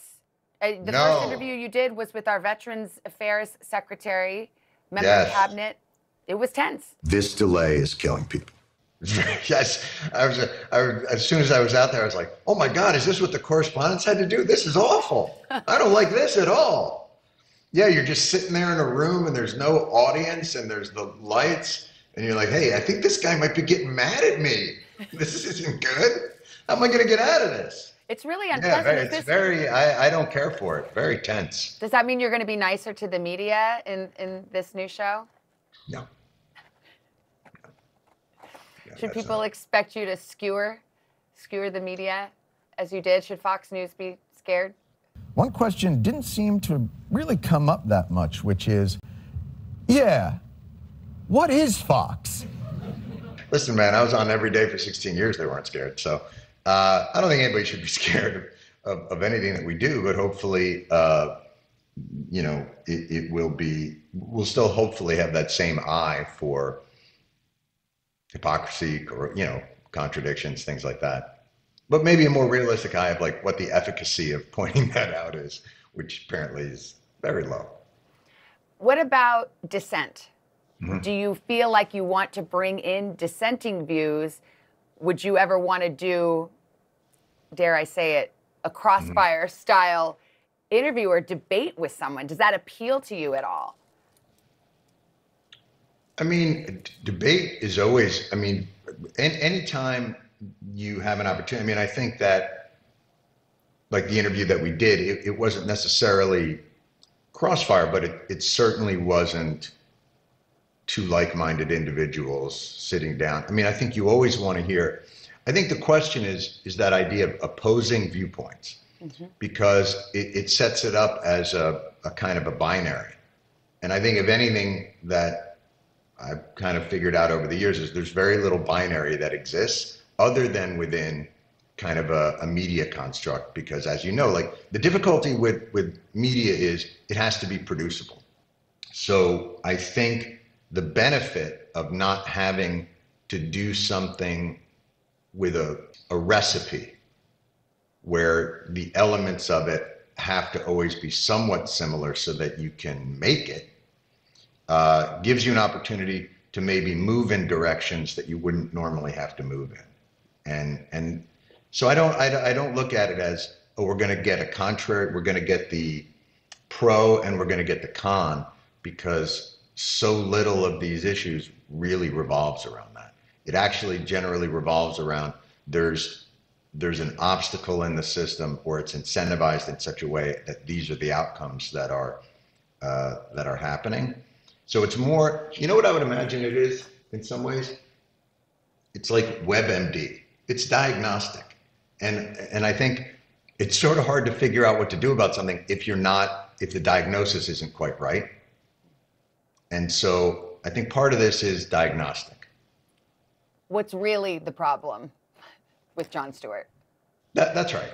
you hope, I, or or not, or it could be this could be completely wrong. You know, that can be sometimes the problem with something that's theoretical. Is you have this idea of how you want to diagnose something, but when you're met with the reality of it, it's it's quite different. It's been six years since The Daily Show. Is there Mm-hmm. anything in your perspective that has changed, or any new information, or just your own evolution that you're bringing to this show that you didn't have six years ago? It's it's hard to say because that's you probably have to be a little bit more self-aware. you know, like I'm trying to think like what have I learned in six yeah, I mean, I'm, years? I'm Like, basically asking you, like, have you grown, Jon Stewart? yeah, I don't know. I mean, I you, you hope, but um, but that's one of those that I think it's it's hard to say. I mean, I I can certainly tell you, physically, I haven't. Um, in fact, the opposite.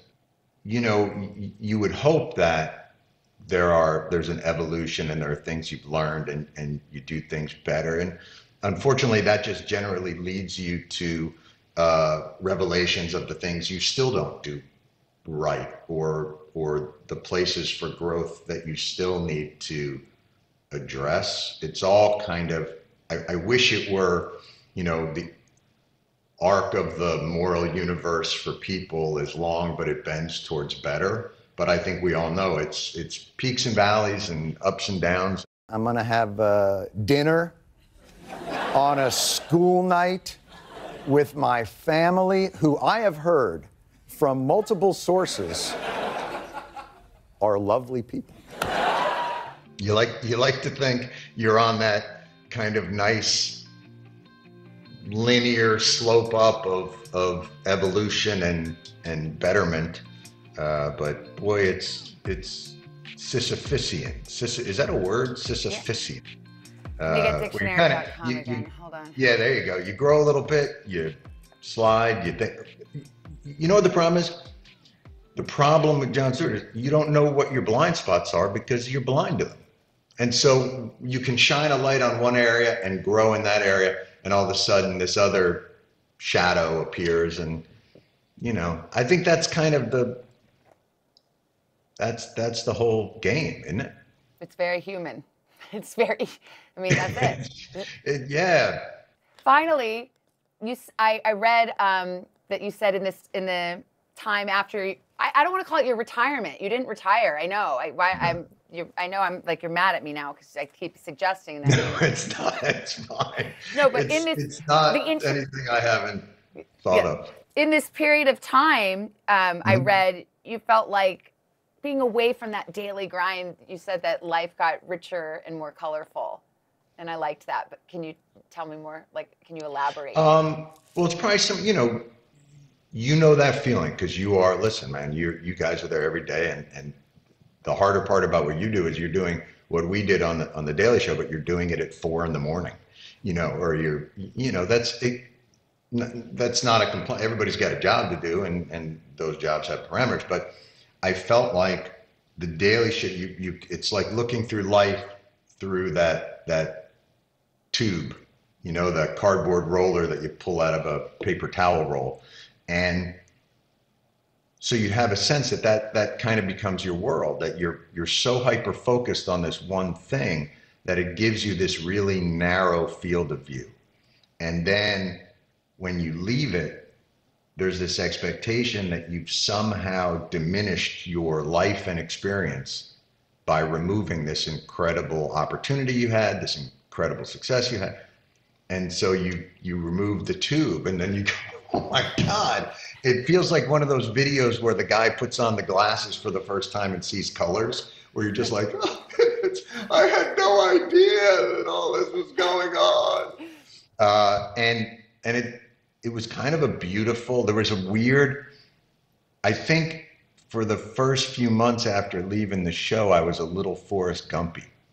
Like just out in the world, like, how, what?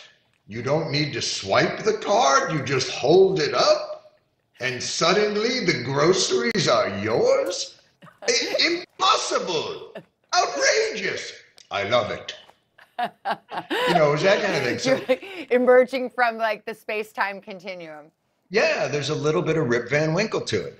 And I think even to the point of just being able to pick the kids up from school, you know, I, I had experienced fatherhood in the crying times. Like it was always getting them ready for school or getting them ready for bed.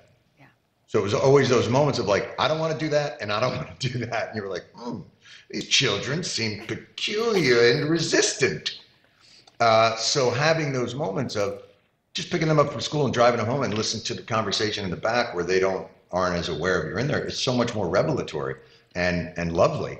And uh, so I really appreciated that, and I think that informed how I went back to doing another television show.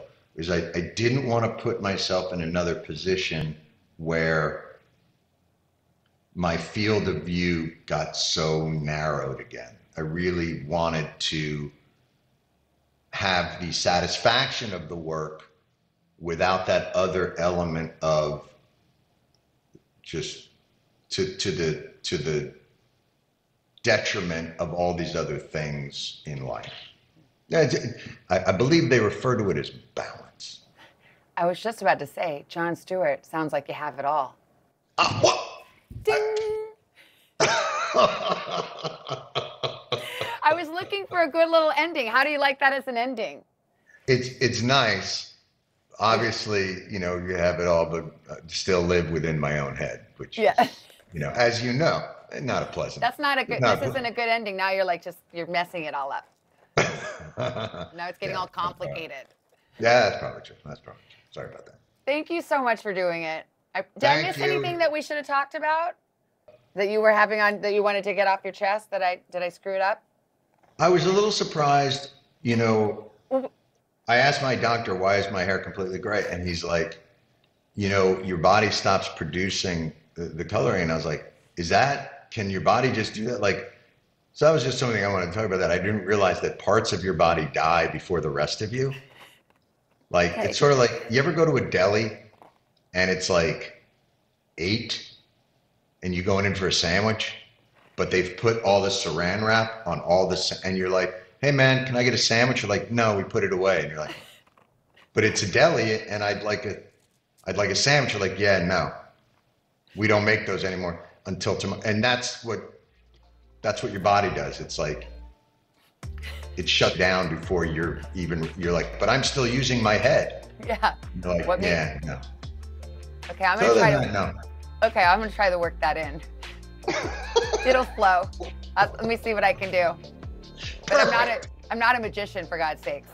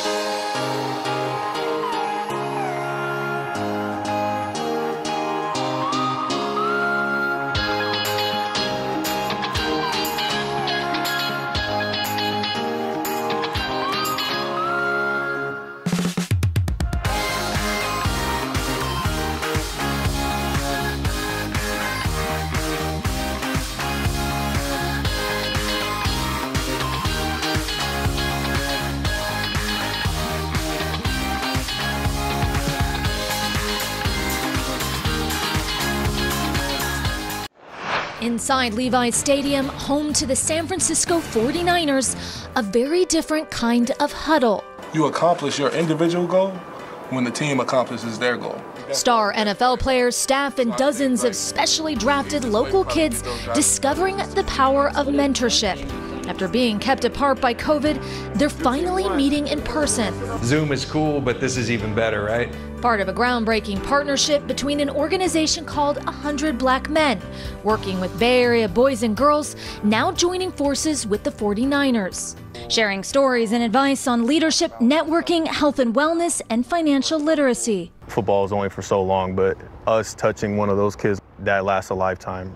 Linebacker Fred Warner and defensive lineman Arik Armstead are some of the biggest names in the game. We play football on Sundays, but you know we also have a lot more to give than just playing football. What you do outside of the stadium is as important as what you do inside. Absolutely. You More know, important, more important. There you More go. important. Why? What you do inside the stadium obviously gives you the platform, but what you do with that platform is more important. Uh, it's more impactful. Even if you know you're fortunate enough to get your name up here in the stadium, that will go away. But uh, how you impact people and how um, you help people will remain after you're gone. That support means the world to 17 year old Jonathan Martin, A mentor is somebody who will have your back. a star student with over a 4.0 GPA. Like so many other kids, he struggled with anxiety and stress throughout the pandemic. It has definitely been uh, isolating. Just not able to have any interaction has been very tough. He said connecting with his 49er mentors helped pull him through. They taught me to keep going, persevere. Um, this is going to end one day. So just having the mentors there to coach me up and tell me that um, these things will be over with and that you will have a, a good time has just been a great help. It's an inspiring partnership born out of one of the most consequential moments in our nation's history the murder of George Floyd and the reckoning that followed. We saw a whole world that um, was really shifted and changed uh, by that moment. 49ers general manager John Lynch was one of those people changed. We huddled up and we said, what can we do? How, how can we make an impact to make things better? And uh, I think through a lot of conversation and uncomfortable conversation came, we have to do something. Did that impact you personally? Oh, absolutely. Has this program changed the 49ers? I know it's changed me. You know, it's changed Fred Warner. It inspires me to want to do better. If I could have seen someone, you know, who looked like me and, you know, was somewhere where I wanted to be, saying as a young person, oh, I want to be an NFL player one day, and for that NFL player to tell me, you can be so much more. You know, don't don't just shoot for the stars, just shoot past the stars. That's why I want to do what, what we're doing. You know, it's it's really important. Warner and Armstead also have a message for kids who feel alone and might be struggling. At times, you may feel like you have no one, no one that cares, no one that understands. Um, I may not know you, we may not ever meet, but I care. I think you deserve every opportunity to be successful and, and live a great life. I encourage people to educate themselves. Just be a good person, be a good human being, because at the end of the day, that's what's going to matter.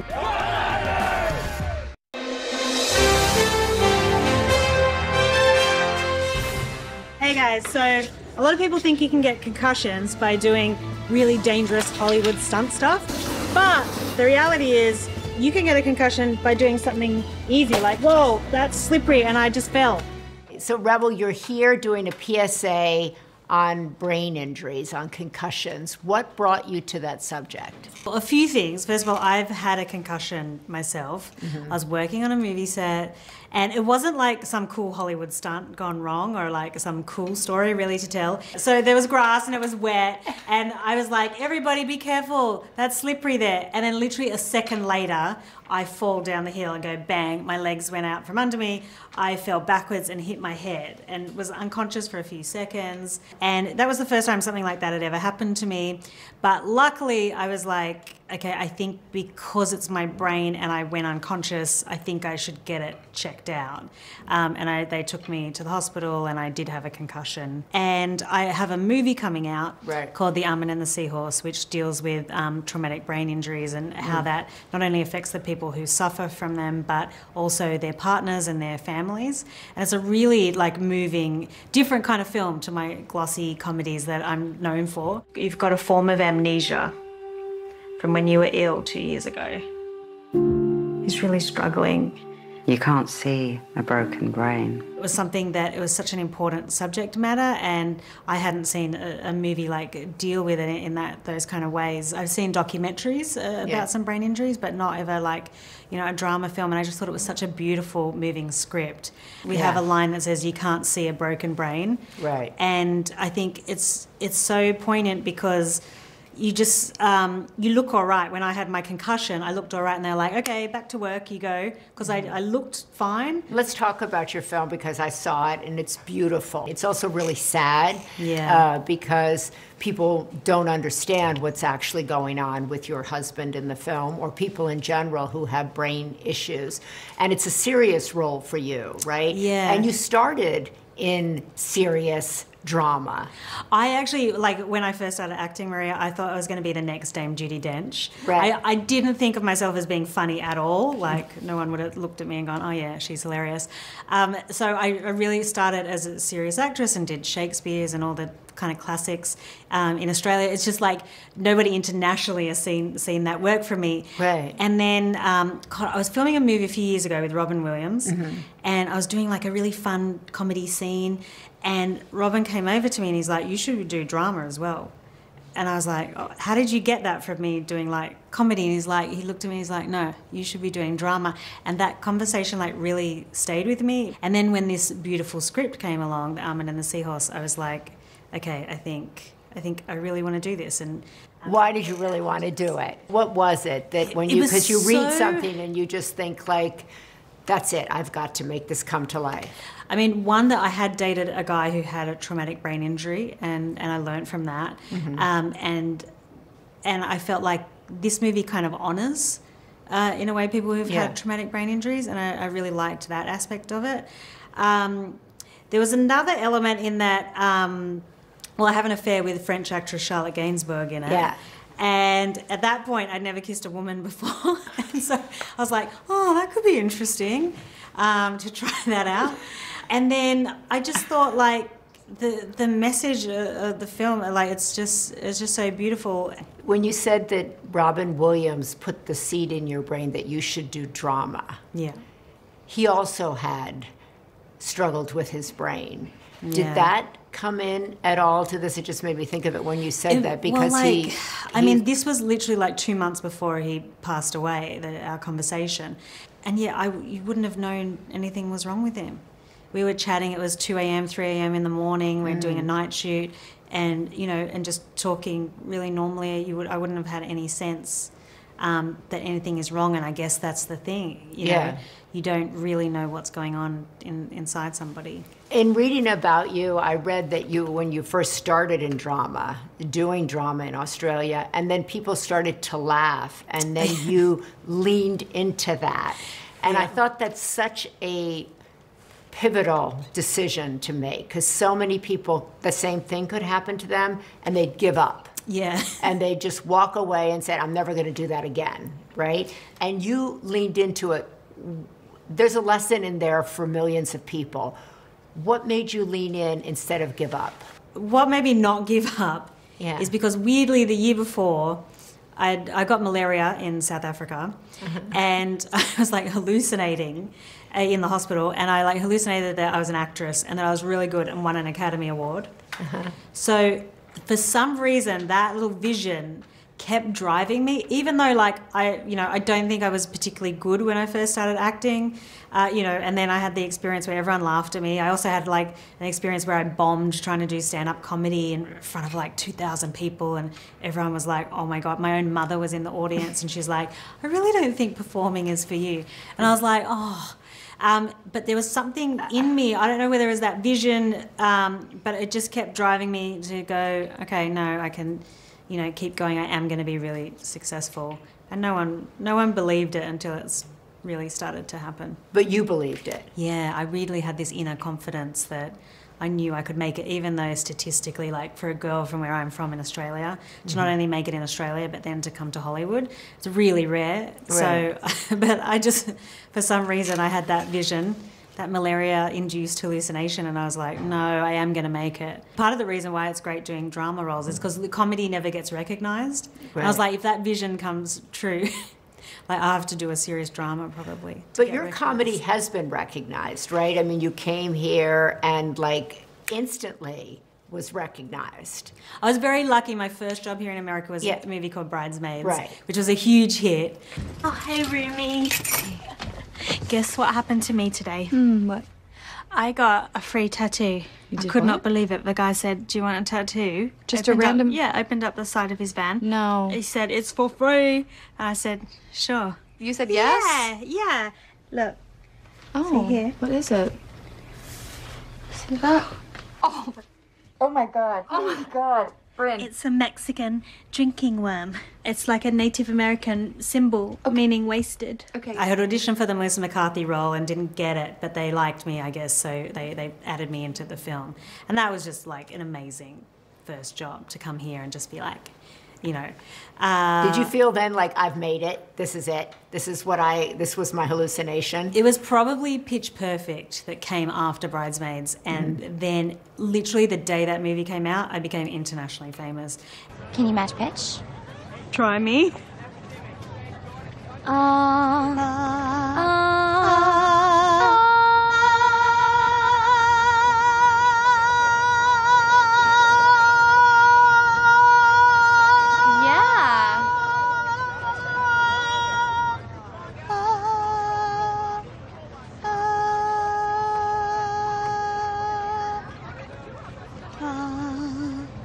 Was a really good start. I'm the best singer in Tasmania. I couldn't like no longer go to the grocery store in my pajamas. I had to stop all of that and just like and you know realize oh people are probably going to know who I am now. And what did the, did you feel like? Okay, that's what I dreamt, or did you feel like nope, the hallucination still I is still not? feel like until I win an Academy Award, I won't have achieved it. So that's why I guess you know I'm trying these different roles and you know and still pushing. Like I still think, even though I'm now in my 40s, Mhm. that I'm like still only still now coming into like um, the work that I was supposed to do.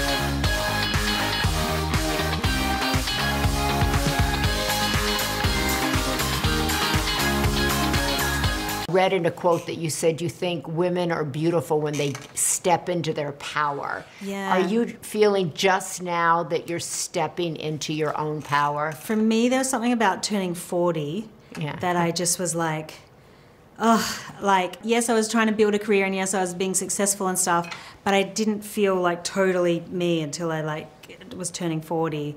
It's something about you, yeah, you, you're not doing things for other people or you're like, I don't know, you're living a fuller, healthier life. And um, I, I definitely wasn't doing that before. And I don't know, I, I don't know, I feel like a late bloomer in so many ways. Mhm. And it's not like you overnight, you're like, oh, okay, I'm a fully formed, evolved person. Like it takes work. And like I did a lot of that with my, I had in 2020, I did my year of health where I like, Yeah. um, tried to transform and uh, and become like a healthier version of myself. And through that, I did a lot of like emotional work, um, and then it kind of you know it, all that slowly month after month of doing that led to like more I don't know being at ease with yourself. So I read uh, where you said that, look, I've done all this work, this film work, and yet everybody wants to talk to me about my year of health, about losing weight. Yeah, I, I feel like I got more attention from losing 80 pounds than I had for doing like 20 movies, uh, which was, I don't like, I was, it was intriguing. People are obsessed with like losing weight, especially here. Yeah. Yeah. So what did that say to you? Did you did you feel like okay, I'm gonna lean into this like you did when you were like trying to do Well, drama? part of it, I wasn't shy about like posting thirst traps on Instagram. So you kind of said like I'm gonna lean into this year of health. I'm gonna bring everybody along on it. Yeah, the, I made it public for accountability. Right. because I'd tried in the past to lose weight before and, you know, tried hard for a few weeks and then kind of given up. And I was like, okay, well, if I make it public, then I have to follow through.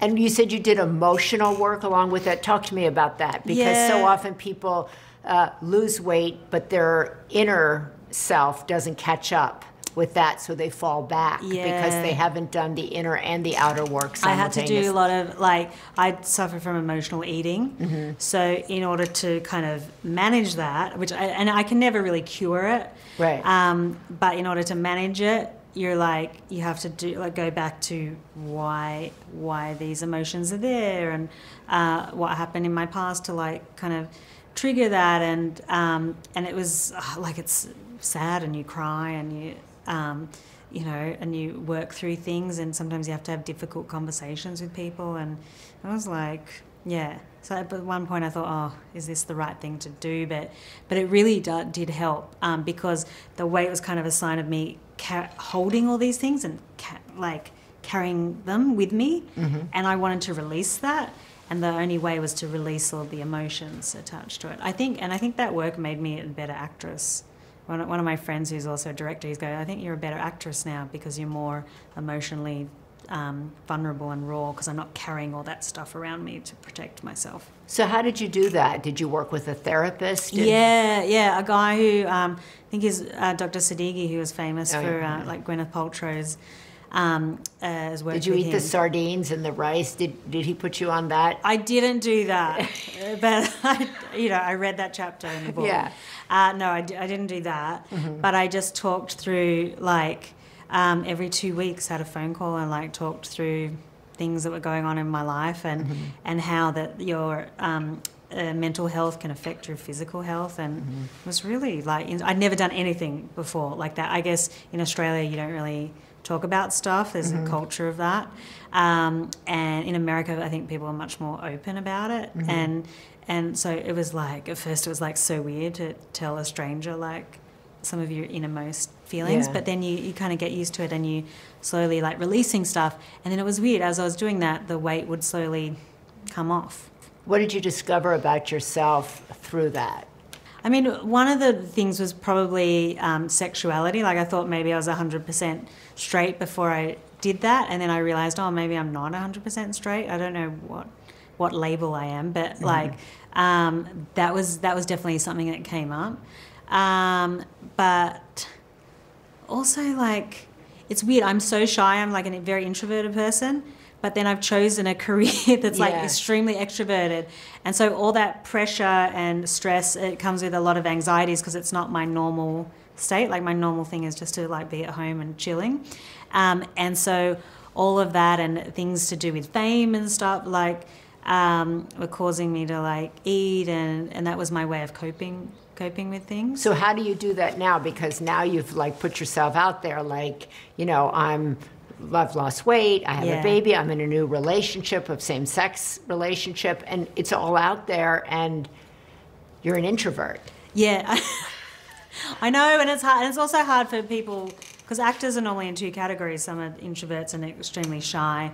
Um, and how I think, uh, you know, I became an actress because I would watch other people because I was so shy. I was not engaging in things socially, but I was watching people. Right. And so that's how I learnt things about people and how to, you know, perform different characters from watching. But then there's the other camp that they're so extroverted and, you know, out there and, um, you know, they're the kids that people say, oh, you should move to Hollywood. Like, Right. you're crazy. um, and so I don't, but it's my passion to, to be an actress. And um, I think uh, for some reason, because I was so shy, playing other characters helped me be able to express myself Yeah. because I was like, well, it's not me, it's the character. So I could be in the high school musical and pretend to be somebody I'm not. Um, and but then I could have all this confidence as the character and and so slowly and slowly that confidence merged into me being me. Uh, but it took a while. Even when I started first doing stand up, I would always do it as a character. Like I'd never do it as me. Right. And, yeah.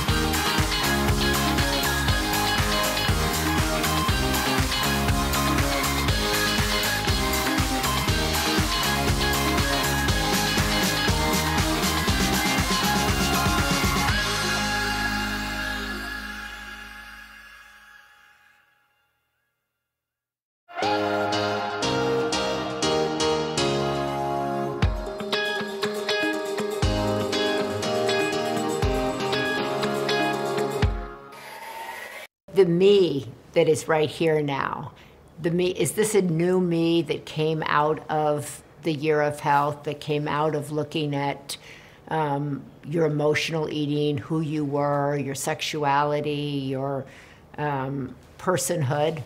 I definitely think I've changed, but like, I don't know, I think of myself as a car, like, you know, I'm 42 now.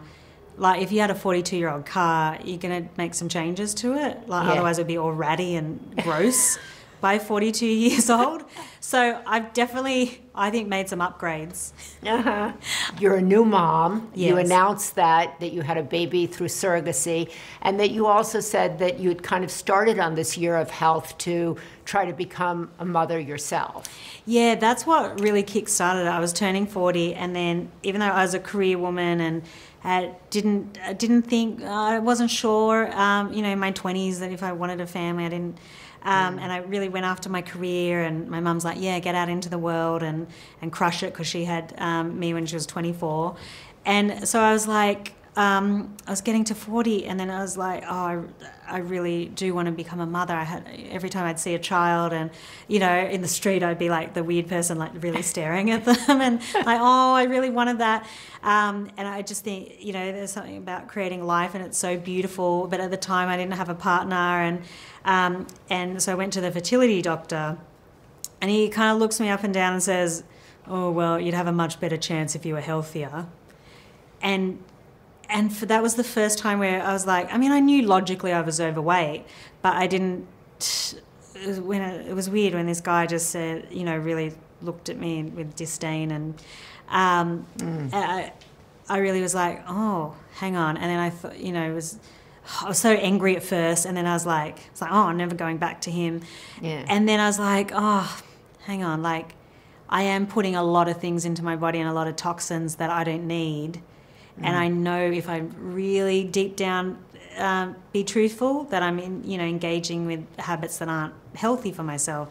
So I was like, you know what? Once I got over the anger of it, I was like, you know what? Yeah, I, I could be a healthier version of myself, and I didn't necessarily want to be skinny or anything, but I just wanted to be healthier. And that the fertility journey really is what kick-started it because I it was almost like because I tried so many times to lose weight and be healthier before, but now thinking of like a future me, like a Yeah. mini me, that really gave it some gravitas for for me to make a lifelong change with health, um, and and then it was devastating when I'd gone through like three egg harvesting procedures and done all that, and then whilst I was filming Almond and the Seahorse, um, I tried to create embryos from the eggs.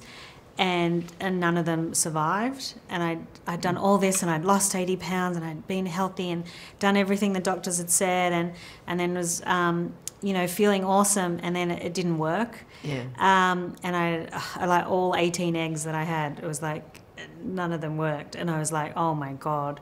Um, and it was such an emotional roller coaster. And then I found that out whilst I was filming the movie, and it just really resonated with the character as well because she really wanted to have a child. And I was like, oh my God. But then I was like, no, okay, you know, I'm gonna can still try again. I was still young enough to try a few more times, and then luckily got my gorgeous baby girl. And how has becoming a mother changed your life? Well, I'm very new to it. Yeah, but it's and like it's the first time you hold your child in your arms. Oh, because uh, and having a baby via a surrogate, uh, you know, is a bit different of an experience because you in a way feel a little bit disconnected. Right. Uh, even though I had this gorgeous surrogate who was, you know, um, so loving and it was so awesome to. Um, get to do this with her. Uh-huh. but then it's not until the ba- the baby literally popped out. It was almost like a comedy scene. The baby just pops out. At the surrogate. And then you you hold the baby and cut the umbilical cord. And literally from from that moment you're just like it was just like amazing and so emotional. And then your life changes again massively in an instant. And um, and it's just, she's just a beautiful miracle. And I just she's such she's so precious. And I know every mother you know will probably say that um, but it's really challenging Mm. uh, I have this big international career and um, you know, and like the breadwinner of my family, I Mhm. like, like to think. Um, Yeah. And so, um, it's, so it's really challenging to like, well, now how do I do all the things and, and be a great mother and great partner and all of that?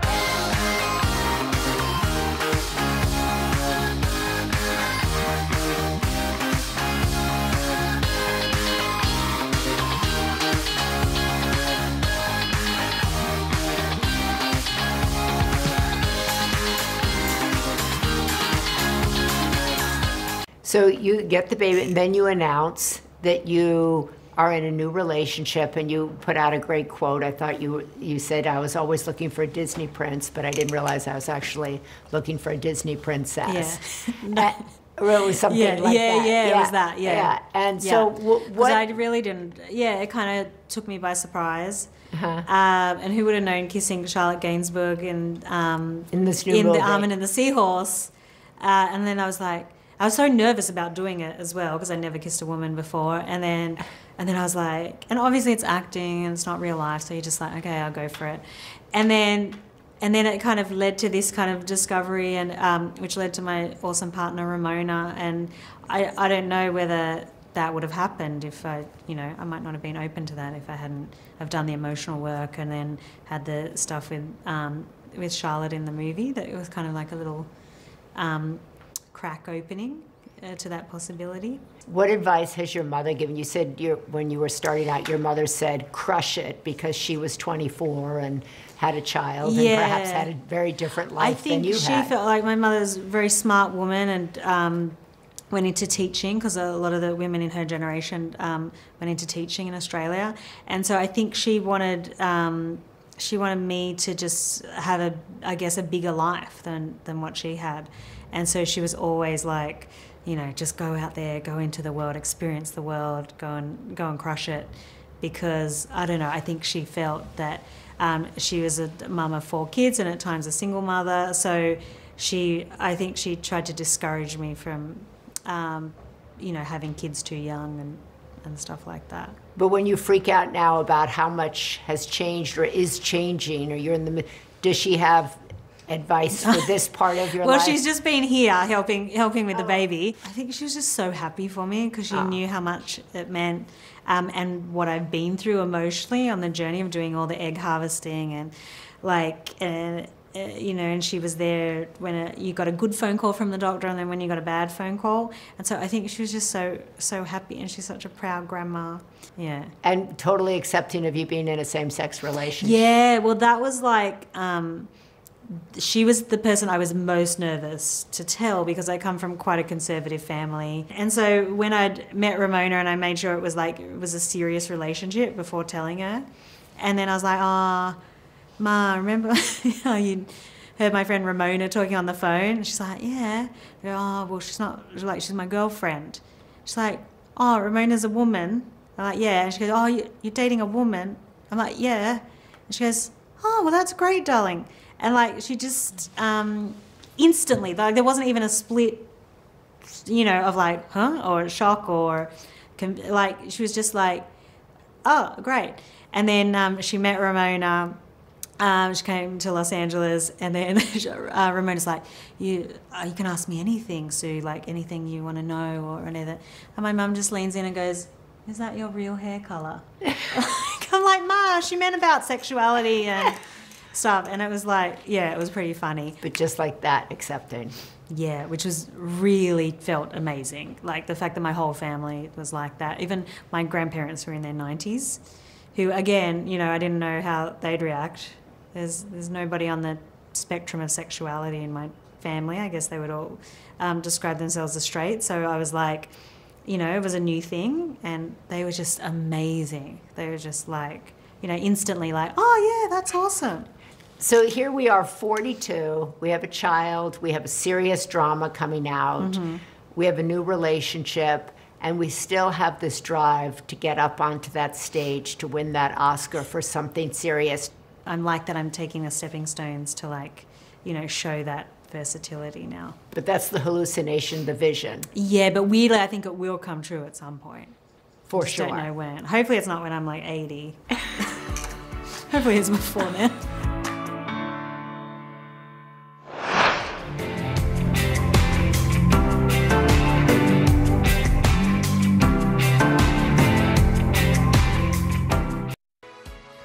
Hi there, good Thursday morning. The search for answers underway in Kansas City. What was supposed to be a day of celebration marred by a mass shooting. It is February 15th. This is today. Triumph to tragedy. Investigators poring over clues and evidence after the Chiefs' victory parade ends in a terrifying shooting. The chaos unfolding on live television moments after the team left the stage, panic sweeping through the massive crowd of fans and families. We just dropped down to the ground. My daughter tried to climb on top of me to protect me. A beloved mother and local DJ killed. More than 20 others, including at least 11 children, hurt. The city's mayor at a loss. Parades, rallies, schools, movies. It seems like almost nothing is safe. We're live with the latest on the investigation, and a fan who raced into action tackling one of the possible suspects will join us for a live interview. Sounding the alarm, the U.S. facing a national security threat over Russia's plan to put nuclear weapons in space.